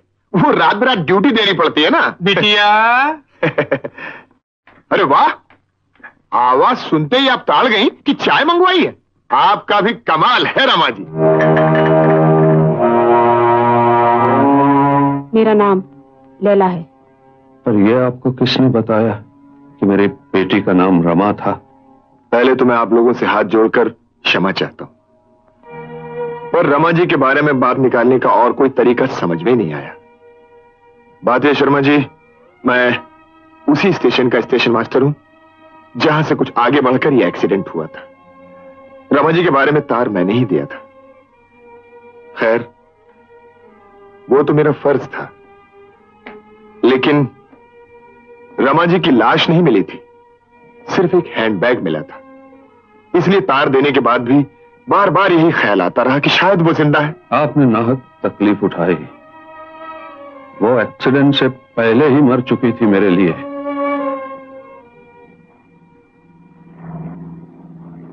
मामा जी! मामा! भैया। अरे ये क्या? सर पटापट की रो रही थी क्या? चलो ना मेरे साथ आओ। बात क्या है? भैया। अरे।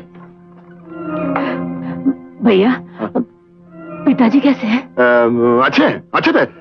आराम से ऐसे नहीं भैया शुरू से बताओ। वहाँ जाके तुमने घंटे बजाई होगी फिर किसी ने दरवाज़ा खोला होगा फिर तुम अंदर गए वो सोफा सेट अभी तक वहीं होगा बीच कमरे में। उसी पर शॉल ओढ़े पिताजी बैठे होंगे। उदास। हाँ सोफा वही है बीच कमरे में। उसी पर पिताजी शॉल ओढ़े बैठे हुए थे। पर वो उदास नहीं थे। नहीं नहीं नहीं उदास तो वो बिल्कुल नहीं थे। और एक मोटी सी लड़की मुँह में पान भरे बकबक किए जा रही थी बकबक किए जा रही थी। क्या नाम था उसका? मैं भूल गया। हाँ लैला लैला। उसका बाप तो उससे भी मोटा था। अपने बाप को घुड़कने के लिए जैसे ही वो मुटल्लो पलटी तो पीक साड़ी पर गिर पड़ी। और, और तुम्हारे पिताजी उसको देखकर इतना ज़ोर से हंसे इतना ज़ोर से हंसे कि मैं बता नहीं सकता। फिर क्या हुआ? अ, फिर क्या होना था? पिताजी ने मुझे अपने पास बिठाया लैला ने मुझे चाय पिलाई और काफ़ी देर तक इधर उधर की बातें होती रहीं। मेरी कोई बात नहीं हुई। लो एक अनजान आदमी के सामने तेरी बातें कैसे करते? लेकिन तू परेशान मत हो। अ, वो ठीक ठाक और मज़े में है। हाँ अ, मैं जरा मामा जी से मिल के आया।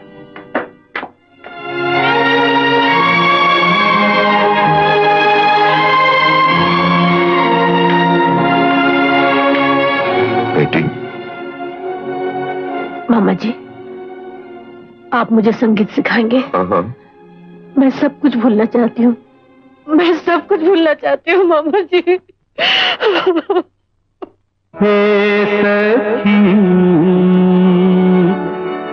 राधिके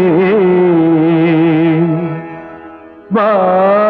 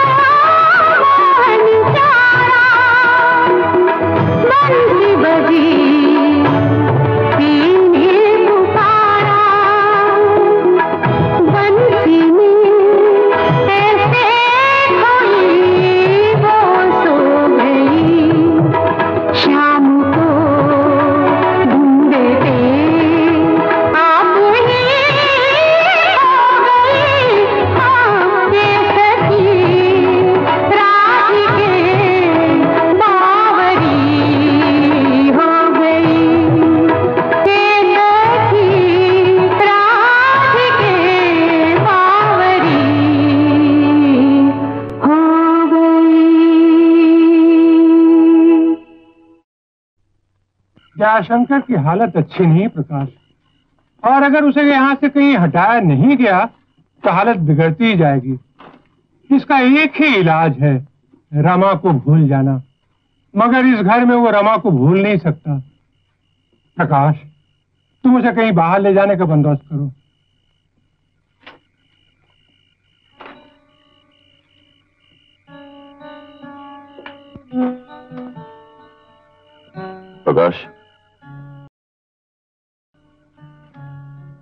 से 20-30 मील दूर मेरा एक घर खाली पड़ा हुआ है। सर को वहाँ ले चल। तेरे घर ले चलूँ? ये नहीं हो सकता। क्यों नहीं हो सकता? क्या मैं अकेला ही गुनहगार हूँ? तूने भी तो मेरे साथ शर्त लगाई थी। और तेरे पास तो शर्त लगाने की कोई वजह भी नहीं थी। मेरे पास कम से कम वजह तो है। वजह? कैसी वजह? प्रकाश कॉलेज में जब हम दोनों पढ़ते थे तो मैं भी तो तेरी तरह एक सीधा साधा लड़का था, पर गरीब था। पिताजी के देहांत के बाद मामा जी ने मेरी सगाई कर दी। लेकिन वो लड़की शादी से पहले एक अमीर लड़के के साथ भाग गई। जानता है क्यों? क्योंकि पैसा उसे वो सब आराम दे सकता था, जो मैं उसे नहीं दे पाता। लोगों ने मेरा मज़ाक उड़ाया, मुझ पर उंगलियाँ उठाई। और मैं उसी दिन से समझ गया कि ज़िंदगी में पैसा ही सब कुछ है। मैंने उसी दिन से मेहनत शुरू करके ये दौलत पैदा की और उसी मज़ाक को सूद समेत लोगों को वापस करने लगा। वो दुल्हन लड़कियों की तस्वीर जो मेरे दिमाग पर बना गई थी, मैं हर लड़की में वही तस्वीर देखने लगा। पर पर रमा जी से मिलने के बाद वो तस्वीर कब धंधी पड़ गई, मुझे पता नहीं चला। प्रकाश, रामा जी के साथ जब मैं ये प्यार का नाटक कर रहा था तो कभी कभी मुझे ताज्जुब होता था कि इतनी फ़र्स्ट क्लास एक्टिंग में कैसे कर रहा हूँ। लेकिन अचानक मुझे पता चला कि मैं तो एक्टिंग कर नहीं रहा। ये तो मेरी ज़िंदगी की सच्चाई बन गई है। हाँ प्रकाश, मैं मैं रमन से और कुछ तो मैं इस समय कर नहीं सकता प्रकाश। सर की हालत मुझसे देखी नहीं जाती। उन्हें जल्दी से मेरे घर ले चले। लेकिन वो तेरे यहाँ रहना स्वीकार नहीं करेंगे। क्यों नहीं? उन्हें बताने की ज़रूरत ही क्या है कि वो घर मेरा है? पर मैं उनसे कहूँगा क्या? चाहो तो कहते हो कि वो घर किसी दोस्त का है। नहीं तो कहते हो वो किसी दुश्मन का है। और अगर ये नहीं कह सकते हो तो चल सर को बता दें कि रमा जी के साथ तूने मुझसे कोई शर्त लगाई थी। प्रकाश मैं ये कहकर तुझे ब्लैकमेल नहीं करना चाहता। तू भी तो उनकी इस तरह सेवा कर रहा है कोई प्रायश्चित करने के लिए। क्या वो प्रायश्चित करने का अधिकार मुझे नहीं मिल सकता।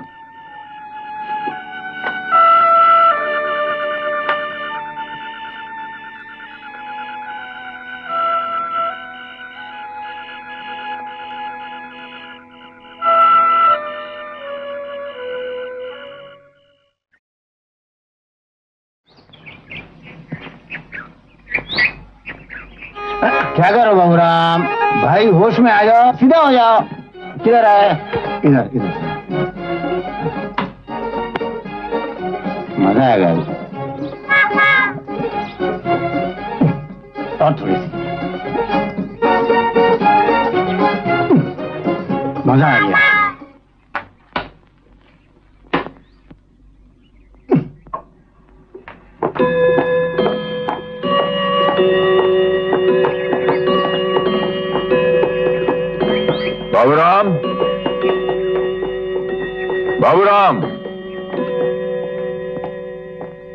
इधर से ये सब तस्वीरें वगैरह हटा दी ना तूने? साहब वगैरह हटाने को तो नहीं कहा था आपने। तुम तुम बकबक बहुत करते हो। इसी बकबक में अगर तुमने किसी दिन उन लोगों से कह दिया कि ये घर मेरा है तो वो हो सब कहूँगा कैसे? ये घर मेरा है ही नहीं। मेरे ख्याल में वो लोग आ गए। चल। अभी आते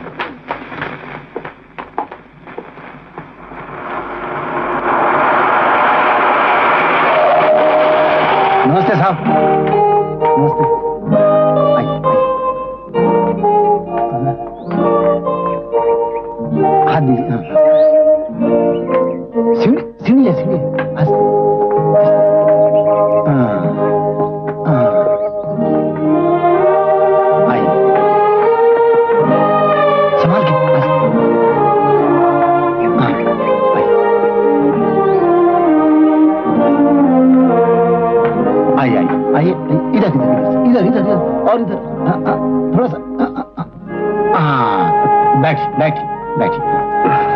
आपके लिए ऊपर इंतज़ाम कर दिया है। फ़िलहाल आप यहीं आराम कीजिए।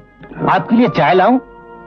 पहले अपना नाम तो बताओ भाई। मेरा नाम मेरा नाम बाबूराम। वाह बहुत प्यारा नाम है। क्या हुआ? आपने कहा ना बहुत प्यारा नाम है। मेरी बीवी भी यही कहती है। अच्छा बाबूराम भाई मेरे यहाँ ठहरने से तुम लोगों को कोई तकलीफ़ तो नहीं होगी ना? नहीं साहब तकलीफ़ तो आपको नहीं होनी चाहिए। नहीं नहीं। छोटे साहब ने हज़ार बार बोला आपको पूरा आराम मिलना चाहिए। आज सुबह भी बोला है। आज सुबह? हाँ? तो मुझे एक दफे उनसे मिला दो भाई। मतलब वो वो, वो यहाँ है नहीं। मतलब टेलीफोन टेलीफोन से बात हुआ है। ओ, नाम क्या है उनका? नाम मतलब ये मुसीबत। मैं तो साहब को छोटे साहब कहता हूँ और बड़े साहब मुन्ना कहते थे।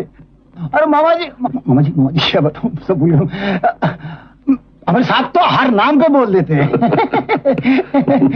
असल में बड़े आदमी को बहुत सारे नाम होते किशन भगवान को ले लीजिए। उनका अठहत्तर सतनाम थे अठहत्तर सतर कितना मालूम है? हाँ, कितना? एक सौ आठ। मैं आपके लिए चाय लाता हूँ। सर ऊपर चल के आराम करेंगे? अरे ना भाई मैं तो पहले बाबूराम के हाथ की चाय पीऊँगा। बड़ा दिलचस्प आदमी है। हंसा ही दिया मुझे।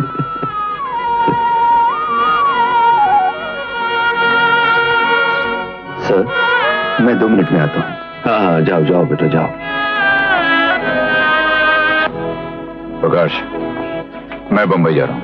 डॉक्टर शिंगल के लिए गाड़ी भेज दी मैंने। किसी चीज़ की ज़रूरत पड़े तो मुझे फ़ोन कर लेना। और सुन ये गाड़ी मैं ले जाता हूँ। जिस गाड़ी में डॉक्टर शिंगल आ रहे हैं वो तेरे लिए होगी। ठीक है।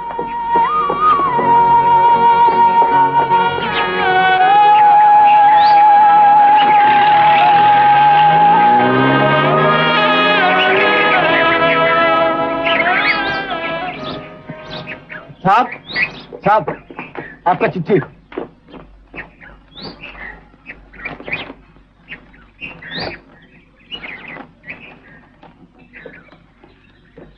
सुनो। यहाँ के आसपास फ़ोन है? हाँ ऊपर है। वो तो मुझे भी मालूम है। अच्छा ऐसा करो किसी पड़ोसी के यहाँ से इंद्र को फ़ोन कर दो। इंदर? इंदर कौन है साहब मैं किसी इंदर इंदर को नहीं जानता। हूँ अरे भाई तुम्हारे मालिक का नाम इंद्र है? साहब कमाल करते। मेरा मालिक दोपहर वाला। तो ये घर किसका है? मालिक का। मालिक कौन है? हाँ, ऊपर वाला। देखो अगर तुमने सीधी तरह इंद्र को फ़ोन करके ये नहीं बताया तो मैं उसे बता दूँगा कि तुम मुझे बता चुके कि घर उसका है। साहब अब जेंटलमैन होके झूठ बोलेंगे? हाँ। सब बोलिए क्या बोलना टेलीफोन पे?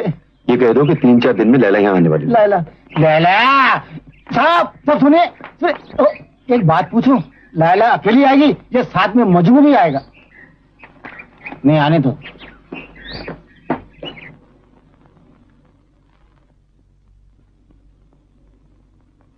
अरे आ गई तू? आ गई बेटी? हाँ। आओ गुलामिया कहाँ है?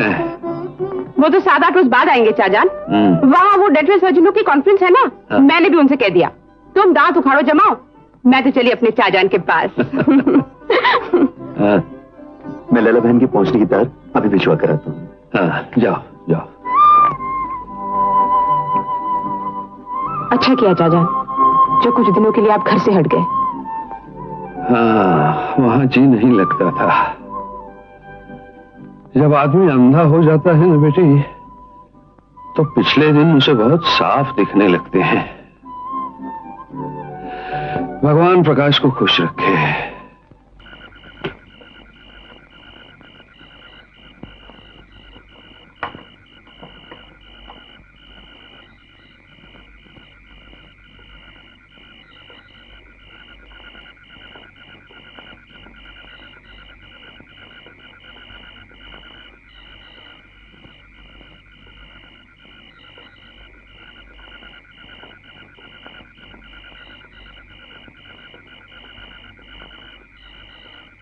प्रकाश भाई साहब। आओ आओ। ये बड़ा अच्छा हुआ तुम कुछ दिनों के लिए आ गई लैला मैं सर की सेवा कर सकता हूँ पर उन्हें खुश नहीं कर पाता। हम्म, को तो आप कोई भी खुश नहीं कर सकता। रमा को भूलने के लिए जितनी ज़िंदगी चाहिए उतनी ज़िंदगी तो अब शायद उनके पास होगी भी नहीं। वो तो इसी गम में जी लेंगे। मुझे उनकी कोई फ़िक्र नहीं। मुझे तो आपकी फ़िक्र है। क्यों? मुझे क्या हुआ है? देखिए आप मुझसे अच्छा तो नहीं हो सकते। मैं इस वक्त रमा की सहेली नहीं। आपकी बहन के नाते पूछती हूँ क्या ज़िंदगी का यही मकसद है कि अगरबत्ती की तरह किसी के घर में जलकर आदमी खत्म हो जाए? अल्लाह ही समझे उस अंदर से जिसने एक साथ तीन जिंदगियाँ खत्म कर दी। अच्छा हुआ इंद्र का ज़िक्र तुमने खुद ही निकाल दिया। मैं कई दिनों से तुम्हें इंद्र के बारे में एक बात बताना चाहता था पर हिम्मत नहीं पड़ रही थी। ये घर इंद्र का है। क्या? लेकिन चाचान तो कह रहे थे ये घर आपके किसी दोस्त का है? तो तुमसे किसने कहा कि इंद्र मेरा दुश्मन है? इंद्र सिर्फ़ अपना दुश्मन है। वैसे सच पूछो तो इस किस्से में कसूर कुछ ना कुछ सभी का है। मेरा भी। आपका? हाँ लला। और सभी प्राश्चित कर रहे हैं। सर अपने हिसाब से मैं अपने तरीके से और इंद्र अपने अंदाज से। लेकिन क्या चाचान को मालूम है कि ये घर इंद्र का है? नहीं और उन्हें मालूम होना भी नहीं चाहिए। कबीर चाचा कह रहे थे कि सर को मैं उस घर से कहीं दूर ले जाऊँ। इलाज बहुत महँगा है। मेरी माली हालत तो तुम जानती हो। और इंद्र प्राश्चित करना चाहता था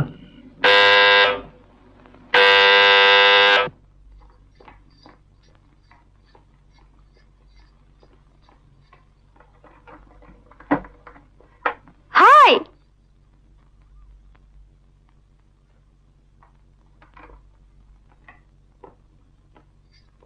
किसी और घर के धोखे में आ गए हो या यहीं आए हो? यहीं आया हूँ। गुड लेकिन आजकल बहुत कड़की चल रही है। मैं तुम्हें सिर्फ़ रम पिला सकती हूँ। मैंने शराब छोड़ दी है। क्या? तुमने क्या किया? अरे ये तो कमाल हो गया। मैं अभी एक फ़ोन करके आती हूँ। बात ऐसी है मैंने एक फ्रेंड को बुलाया था। तुम्हारे आने का तो पक्का पता नहीं था ना? डॉली दोस्तों को बुलाना छोड़ दो। इसमें कुछ रखा नहीं है। तो खाएँगे क्या? कुछ तो सोचा होगा अपने बारे में। मुझे क्या सोचना है इंदर? मैं तो अपने आने वाले कल और परसों की खबर आज के अखबार में पढ़ चुकी हूँ। मैं तो एक खोटा सिक्का हूँ। जब तक चल जाऊँ चल जाऊँ। डॉली मैं तुमसे यही कहने आया था। एक नए सिरे से ज़िंदगी शुरू करो। तुम सोच लो कि क्या करना चाहती हो। बीस पच्चीस हज़ार जो भी लगेंगे मैं दे दूँगा। बीस पच्चीस हज़ार? ज़िंदगी बहुत महँगी हो गई है इंदर।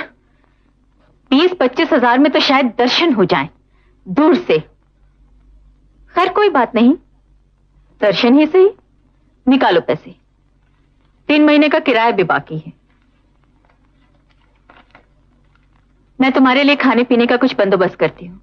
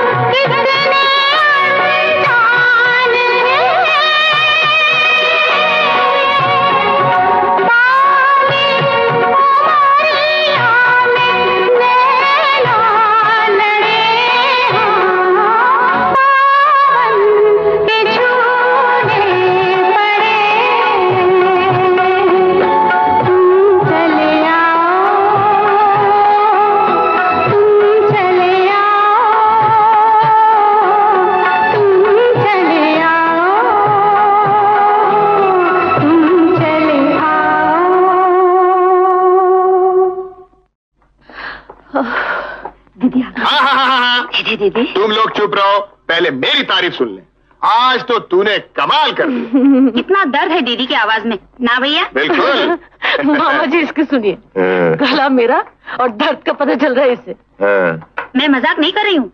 इतना दर्द मैंने किसी के गले में देखा ही नहीं। सुन सुधा एक काम कर। क्या भैया? सोने से पहले आ, वो कुछ दवा जैसे थ्रोट पेंट लगा के सोना। क्यों? दर्द अपने आप कम हो जाएगा। अरे तुम लोग हंस कर रही हो। बैठ के गाना सीखो। चलो।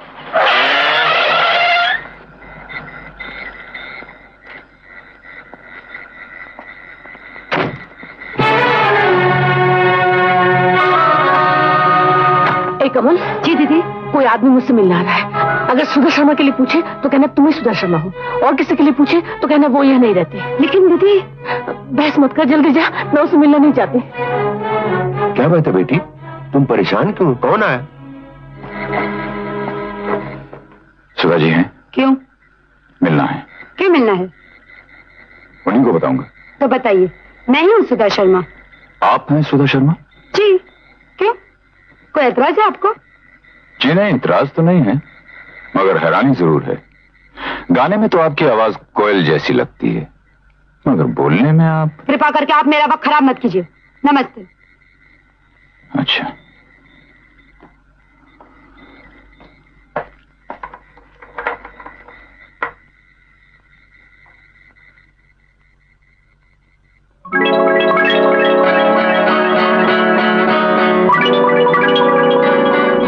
माना ही नहीं। कि सुधा शर्मा मैं हूँ। मगर वो था कौन? कौन था बेटा? कोई नहीं मामा जी। नमस्ते।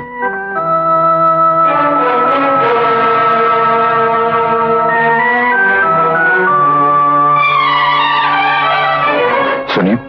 मुझे नहीं सुनी आपकी कोई बात। रमा जी मैं भैया ये चले जाए तो दरवाज़ा बंद कर देना और कह देना फिर यहाँ कभी ना आए।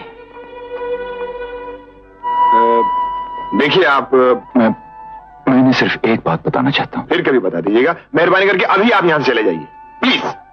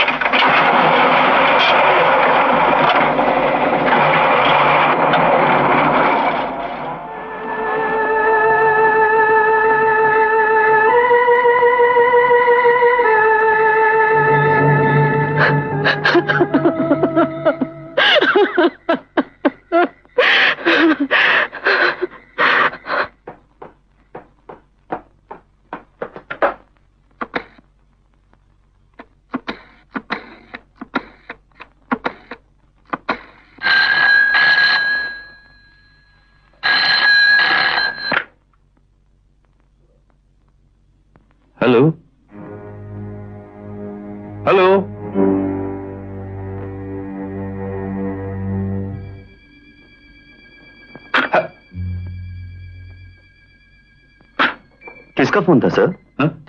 पता नहीं कट गया। लेकिन प्रकाश मुझे ऐसा लगा जैसे दूसरी तरफ़ कोई था। बोला नहीं। फ़ोन मिला के बोलेगा क्यों नहीं सर? आजकल लाइनें बड़ी गड़बड़ रहती हैं। हम्म, सुन बड़े बंगले फ़ोन कर। प्रकाश जी को बुला। उनसे कहे डॉक्टर शिंगल बात करना चाहते जी हैं अच्छा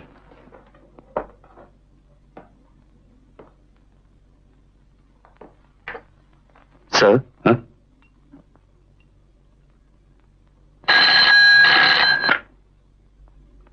हेलो प्रकाश जी घर में हैं। डॉक्टर सिंघल आपसे बात करना चाहते हैं। प्रकाश मैं इंदर। देख मैं जानता हूँ कि सर तेरे पास है। इसलिए जो मैं कहने जा रहा हूँ जरा संभाल के सुन। आप कहिए तो।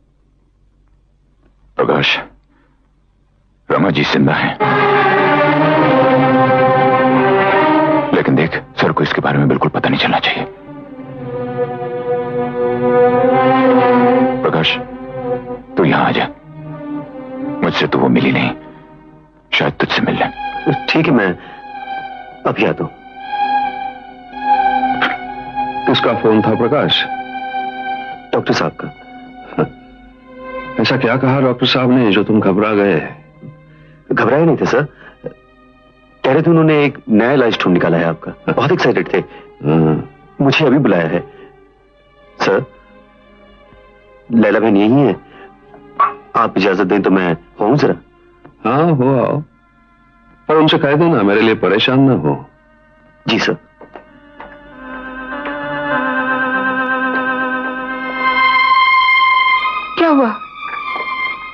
तबीयत तो ठीक है। हाँ। तो फिर क्या बात है? रमा जी ज़िंदा है। हाँ। इंद्र ने उन्हें ढूंढ निकाला है। चाचान को बताया? नहीं। डॉक्टर ने उन्हें हर अच्छी बुरी खबर से दूर रखने को कहा है। क्या इंदर ने खुद रमा को देखा है? हाँ पर वो उससे मिली नहीं। देखू वो मुझसे भी मिलती है या मिलने से इनकार कर देती है। लैला बहन हाँ। मैं वहीं जा रहा हूँ। तुम सर का जरा ख्याल रखना। हाँ हाँ ज़रूर।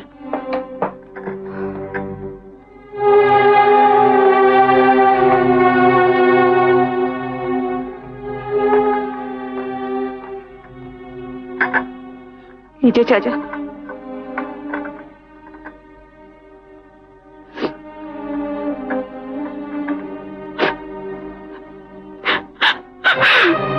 अरे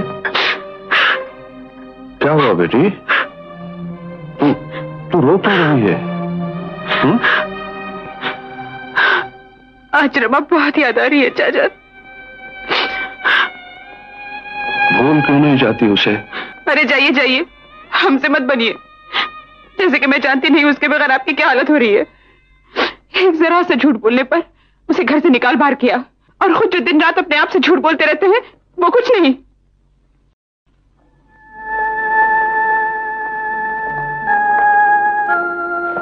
आप? कैसे आना हुआ? ये देखने आया था कि अरे आपने देखना कब से सीख लिया है?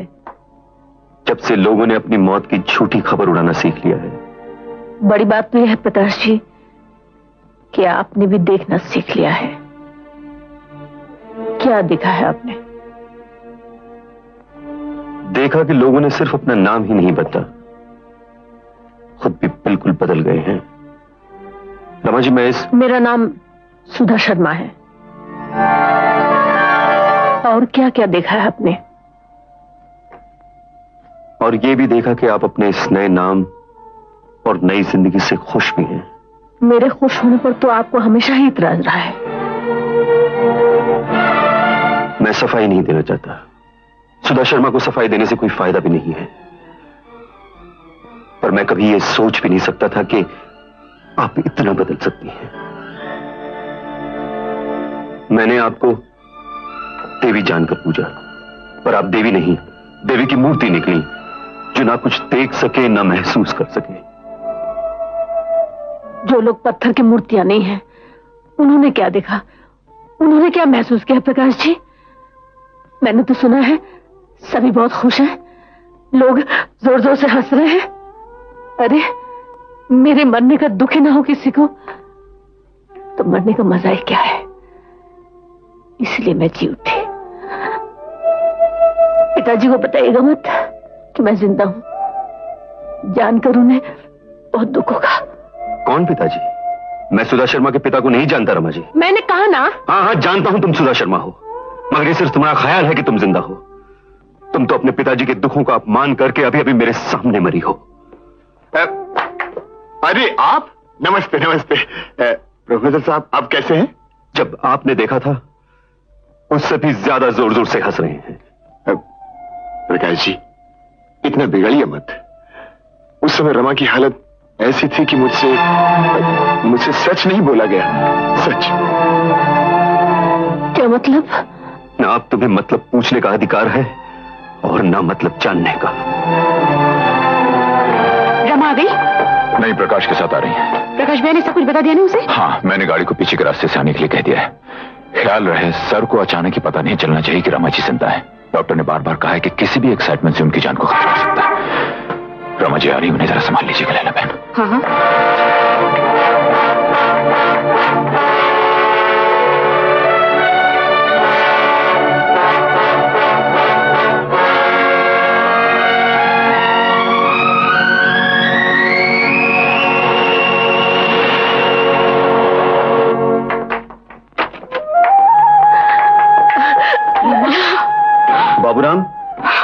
लिए नीचे वाला रूम अल्लाह का लाख शुक्र। चल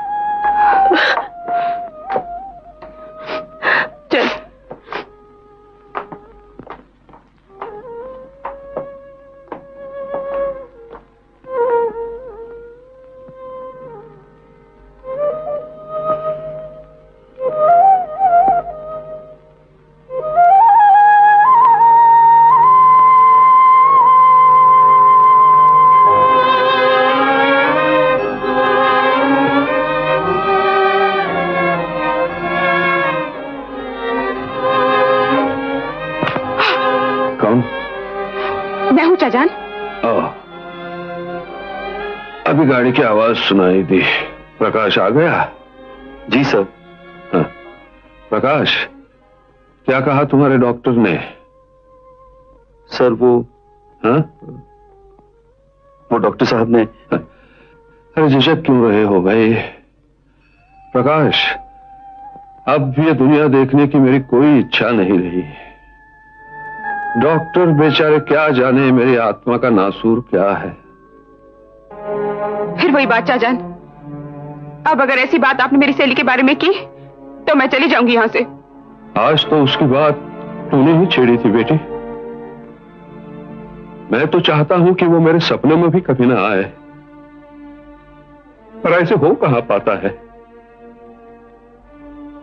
कभी कभी तो लगता है वो मेरे पास आई है। और कह रही है क्या कह रही है चाचान नहीं बेटी। वो ना आए तो ही अच्छा है। उसने मुझे इतना दुख दिया है। मैं उसे कभी क्षमा नहीं कर सकता।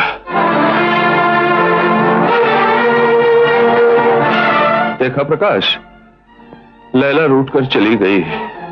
वो समझती ही नहीं कि सुनो, आइंदा मेरे सामने रमा का ज़िक्र कभी मत करना।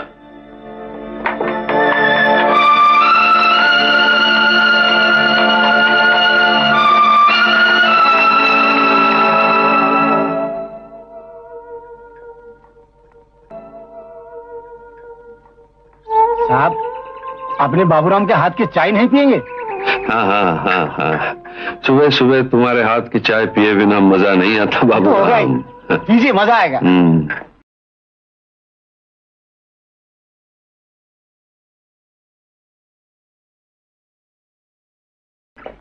कौन है प्रकाश? सर प्रभाकर चतुर्वेदी जी हैं। शास्त्री जी के बहुत बड़े पंडित आपसे मिलने आए हैं। हाँ। बाबूराम एक कुर्सी लाना। आइए नमस्कार शर्मा जी नमस्कार पंडित जी आइए आइए बैठिए। हम यहाँ हवा बदलने आए थे। सुना आप भी यही हैं? अ, मेरी भांजी भी मेरे साथ है। साहित्य की स्टूडेंट है और आपकी बड़ी भक्त है। प्रणाम करके आशीर्वाद लो बेटी। अब आशीर्वाद कहाँ से दूँ पंडित जी? मेरे सब आशीर्वाद खत्म हो गए।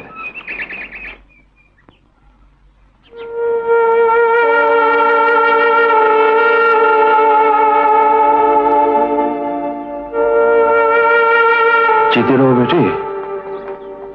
तुम्हारा नाम क्या है बेटी?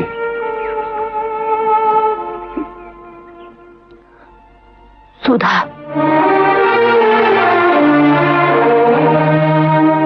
क्या हुआ चाजान? चाजान? वही आवाज़ है। जी क्या कहा आपने? हाँ? कुछ नहीं वो मेरी ज़िंदगी का एक अभिशाप है। कहाँ रहती हो बेटी? जी मेरे ही पास रहती है। इसे संगीत का बहुत शौक है ना इसलिए मेरे पास रहकर गाना सीखती है। उससे भी संगीत का बहुत शौक था। किसे शर्मा जी? उसके बाद छोड़ दीजिए। उसके बाद छोड़ दीजिए। एक गाना सुनाओगी बेटी? हाँ हाँ सुनाओ बेटी। ये तो बड़े सौभाग्य की बात है।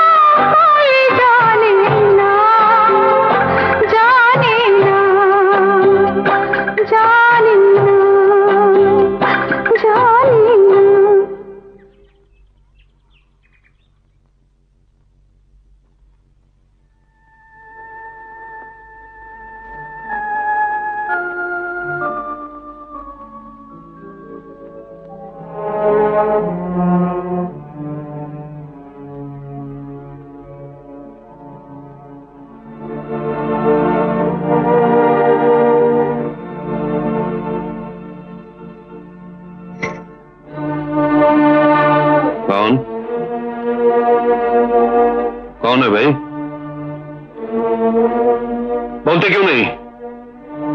मैं मैं? मैं कौन मैं कौन? जी मैं प्रकाश! क्या हुआ चाचन चाचन क्या हुआ सर? क्या बात? वो दरवाजे के पास कौन है? जी। कोई भी तो नहीं है चाचा। वो आई थी। कौन? रमा। आपने ख्वाब देखा होगा चाचा। नहीं बेटी मैं मैं सच कह रहा हूँ। वो आई थी। रो रो कर क्षमा मांगने आई थी शायद। तो क्षमा कर दीजिए ना सर। मरने से पाप हल्का हो जाता है क्या? वो ज़िंदा होती तो भी मैं उससे इतनी ही नफरत कर रहा होता। पर काश वो ज़िंदा होती। काश वो ज़िंदा होती।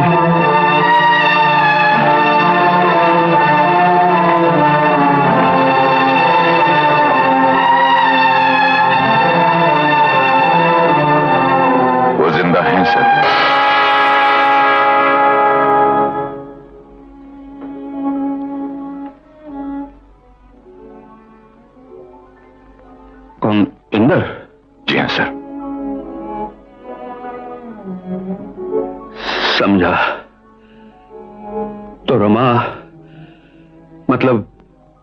सुधा शर्मा तुम्हारे साथ आई है। जी नहीं सर। वो मेरे साथ कहीं भी नहीं थी। लैला बेटी तुम जरा यहाँ से चली जाओ। मुझे इंदर और प्रकाश से कुछ बातें करनी है। चाचान नहीं बेटी मुझे कुछ नहीं होगा। तुम जाओ। जाओ।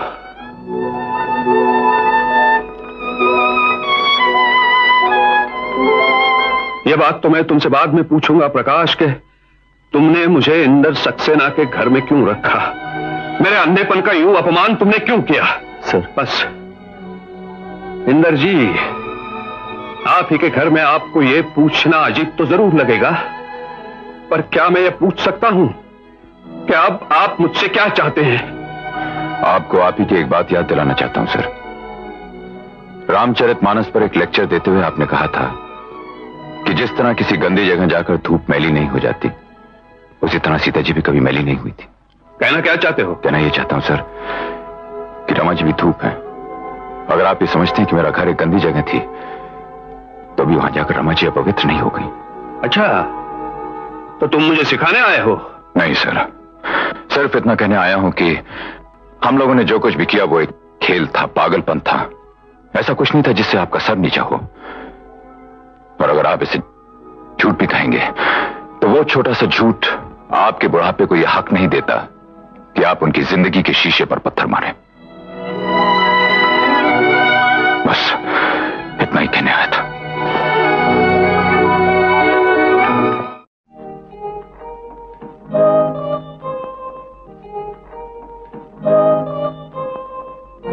प्रकाश, अभी आप कुछ मत पूछिए, सर। पहले मुझे एक बात पूछ लेने दीजिए। आपका हाथ मेरे सर पे है। कहिए क्या मैं जानते बूझते कोई गलत कोई बुरा काम कर सकता हूँ? नहीं प्रकाश तुम ऐसा कभी नहीं कर सकते। एक तुम ही हो जिसने ज़िंदगी पर मेरे विश्वास को ज़िंदा रखा है। तो फिर बिना कोई सवाल किए मेरी दो बातें मान लीजिए सर। रमा जी को क्षमा कर दीजिए और इंद्र से उनकी शादी कर दीजिए।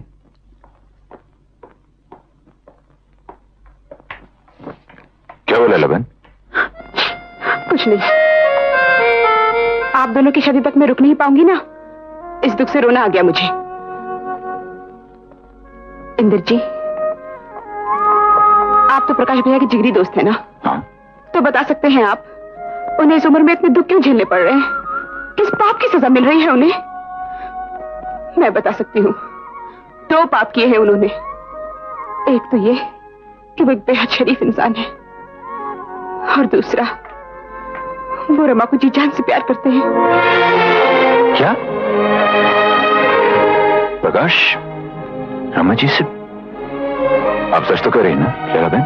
इंदर जी आपको अपने जिगरी दोस्त के बारे में इतना भी नहीं मालूम? इतना भी नहीं मालूम कि जब कोई अपनी महबूबा से गहरा और सच्चा प्यार करता हो तभी तो वो उसके बारे में इतने यकीन के साथ ऐसी शर्त लगा सकता है।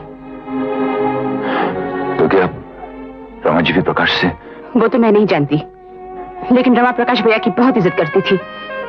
और अब तक शायद वो इज़्ज़त प्यार में बदल चुकी होती। अगर आप अपनी मक्खन की ज़ुबान लेकर बीच में ना आ गए होते।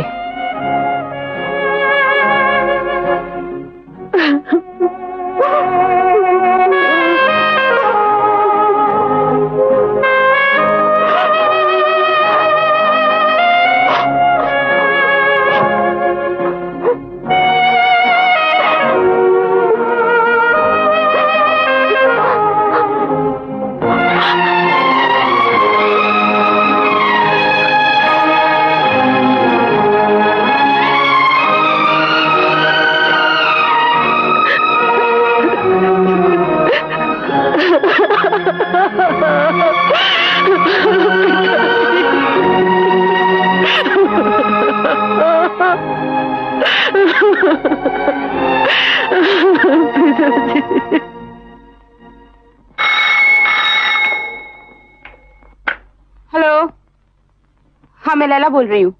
लैला बहन मैं इंदर। कल अचानक आप चले क्यों गए? चाचान मामा जी सब पूछ रहे थे। शादी का इंतज़ाम नहीं करना पड़ेगा। लैला बहन कल साढ़े आठ नौ बजे के बीच आप प्रकाश और रमा जी को लेकर यहाँ आ सकती बहुत ज़रूरी काम है।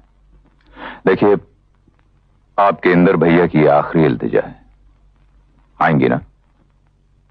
अच्छा।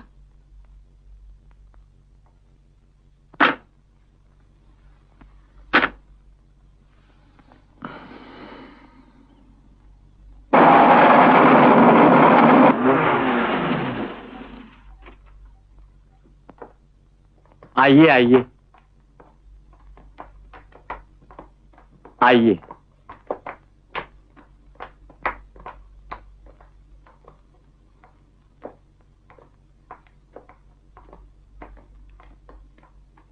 सामने जाकर दाहिने मुड़ जाइए।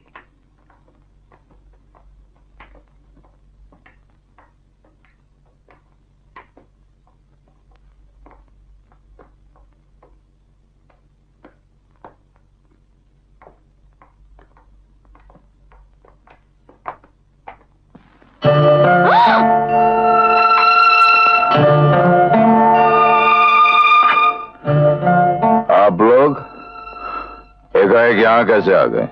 आप ही ने तो कहा था। हाँ मगर फ़ोन करके आना चाहिए था। बुलाया किस लिए? सुना है तूने मेरी शादी तय कर दी है।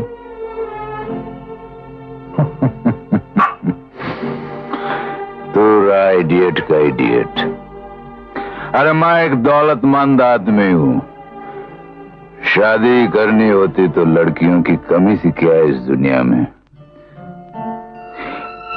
प्रकाश तू तो जानता है कि मैं एक ठेकेदार हूँ।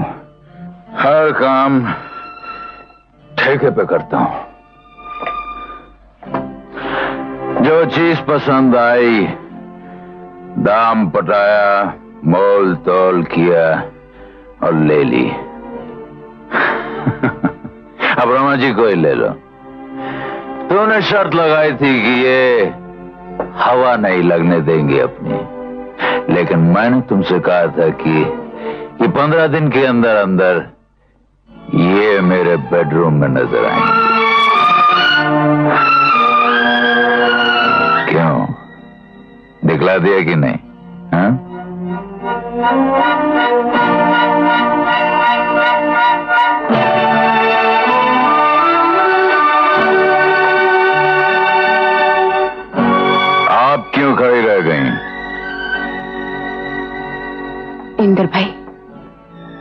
के सामने तो आपने बहुत अच्छी एक्टिंग कर ली। लेकिन मैं समझ गई। लोला बहन ये बात तुम्हारे हमारे बीच रहनी चाहिए। ऐसा ही होगा अंदर भाई। ऐसा ही होगा। खुदा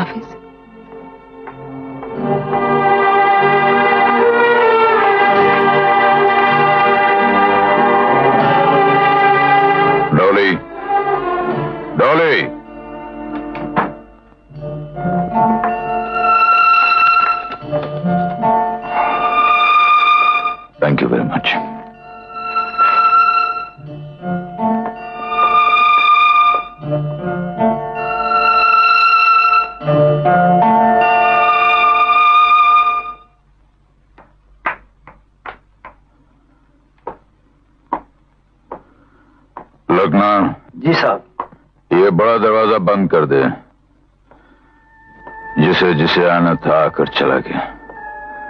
डॉली प्रकाश लैला रोमा। अब न कोई आएगा न कोई जाएगा। साहब? साहब? हम्म क्या है? प्रकाश भैया ही चिट्ठी ले गए हैं। इंद्र मैं कुछ दिनों के लिए बाहर जा रहा हूँ। एक्टिंग तो तूने इस बार भी अच्छी की थी। पर मेरे लिए तेरी ये कुर्बानी फजूल हो गई। तेरी और लैला की बातें मैंने और रमा जी ने सुन ली थी। रमा जी से मेरी बात हुई थी। वो सिर्फ़ मेरी इज़्ज़त करती हैं और कुछ नहीं। इसलिए उनसे मेरी शादी का सवाल ही नहीं पैदा होता। उन्होंने अगर किसी से प्यार किया है तो सिर्फ़ तुझसे। अब सबकी भलाई इसी में है कि तू रमा जी से शादी कर ले। अगर मेरे बारे में सोचकर तेरा जमीर तुझे परेशान करे तो कह देना चुप रहो। जुर्माना भर रहा हूँ। तेरा प्रकाश।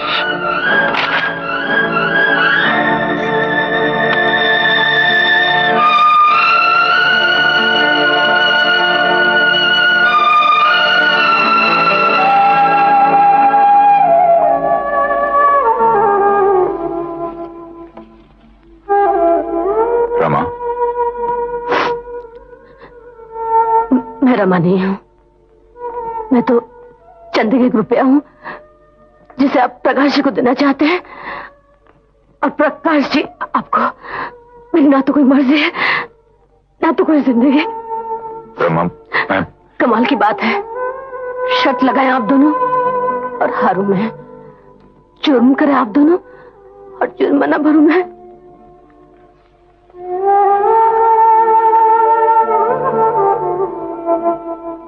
चलो सर के पास चलें। शुक्रिया। मैं इस शहर के रास्ते जानती हूँ।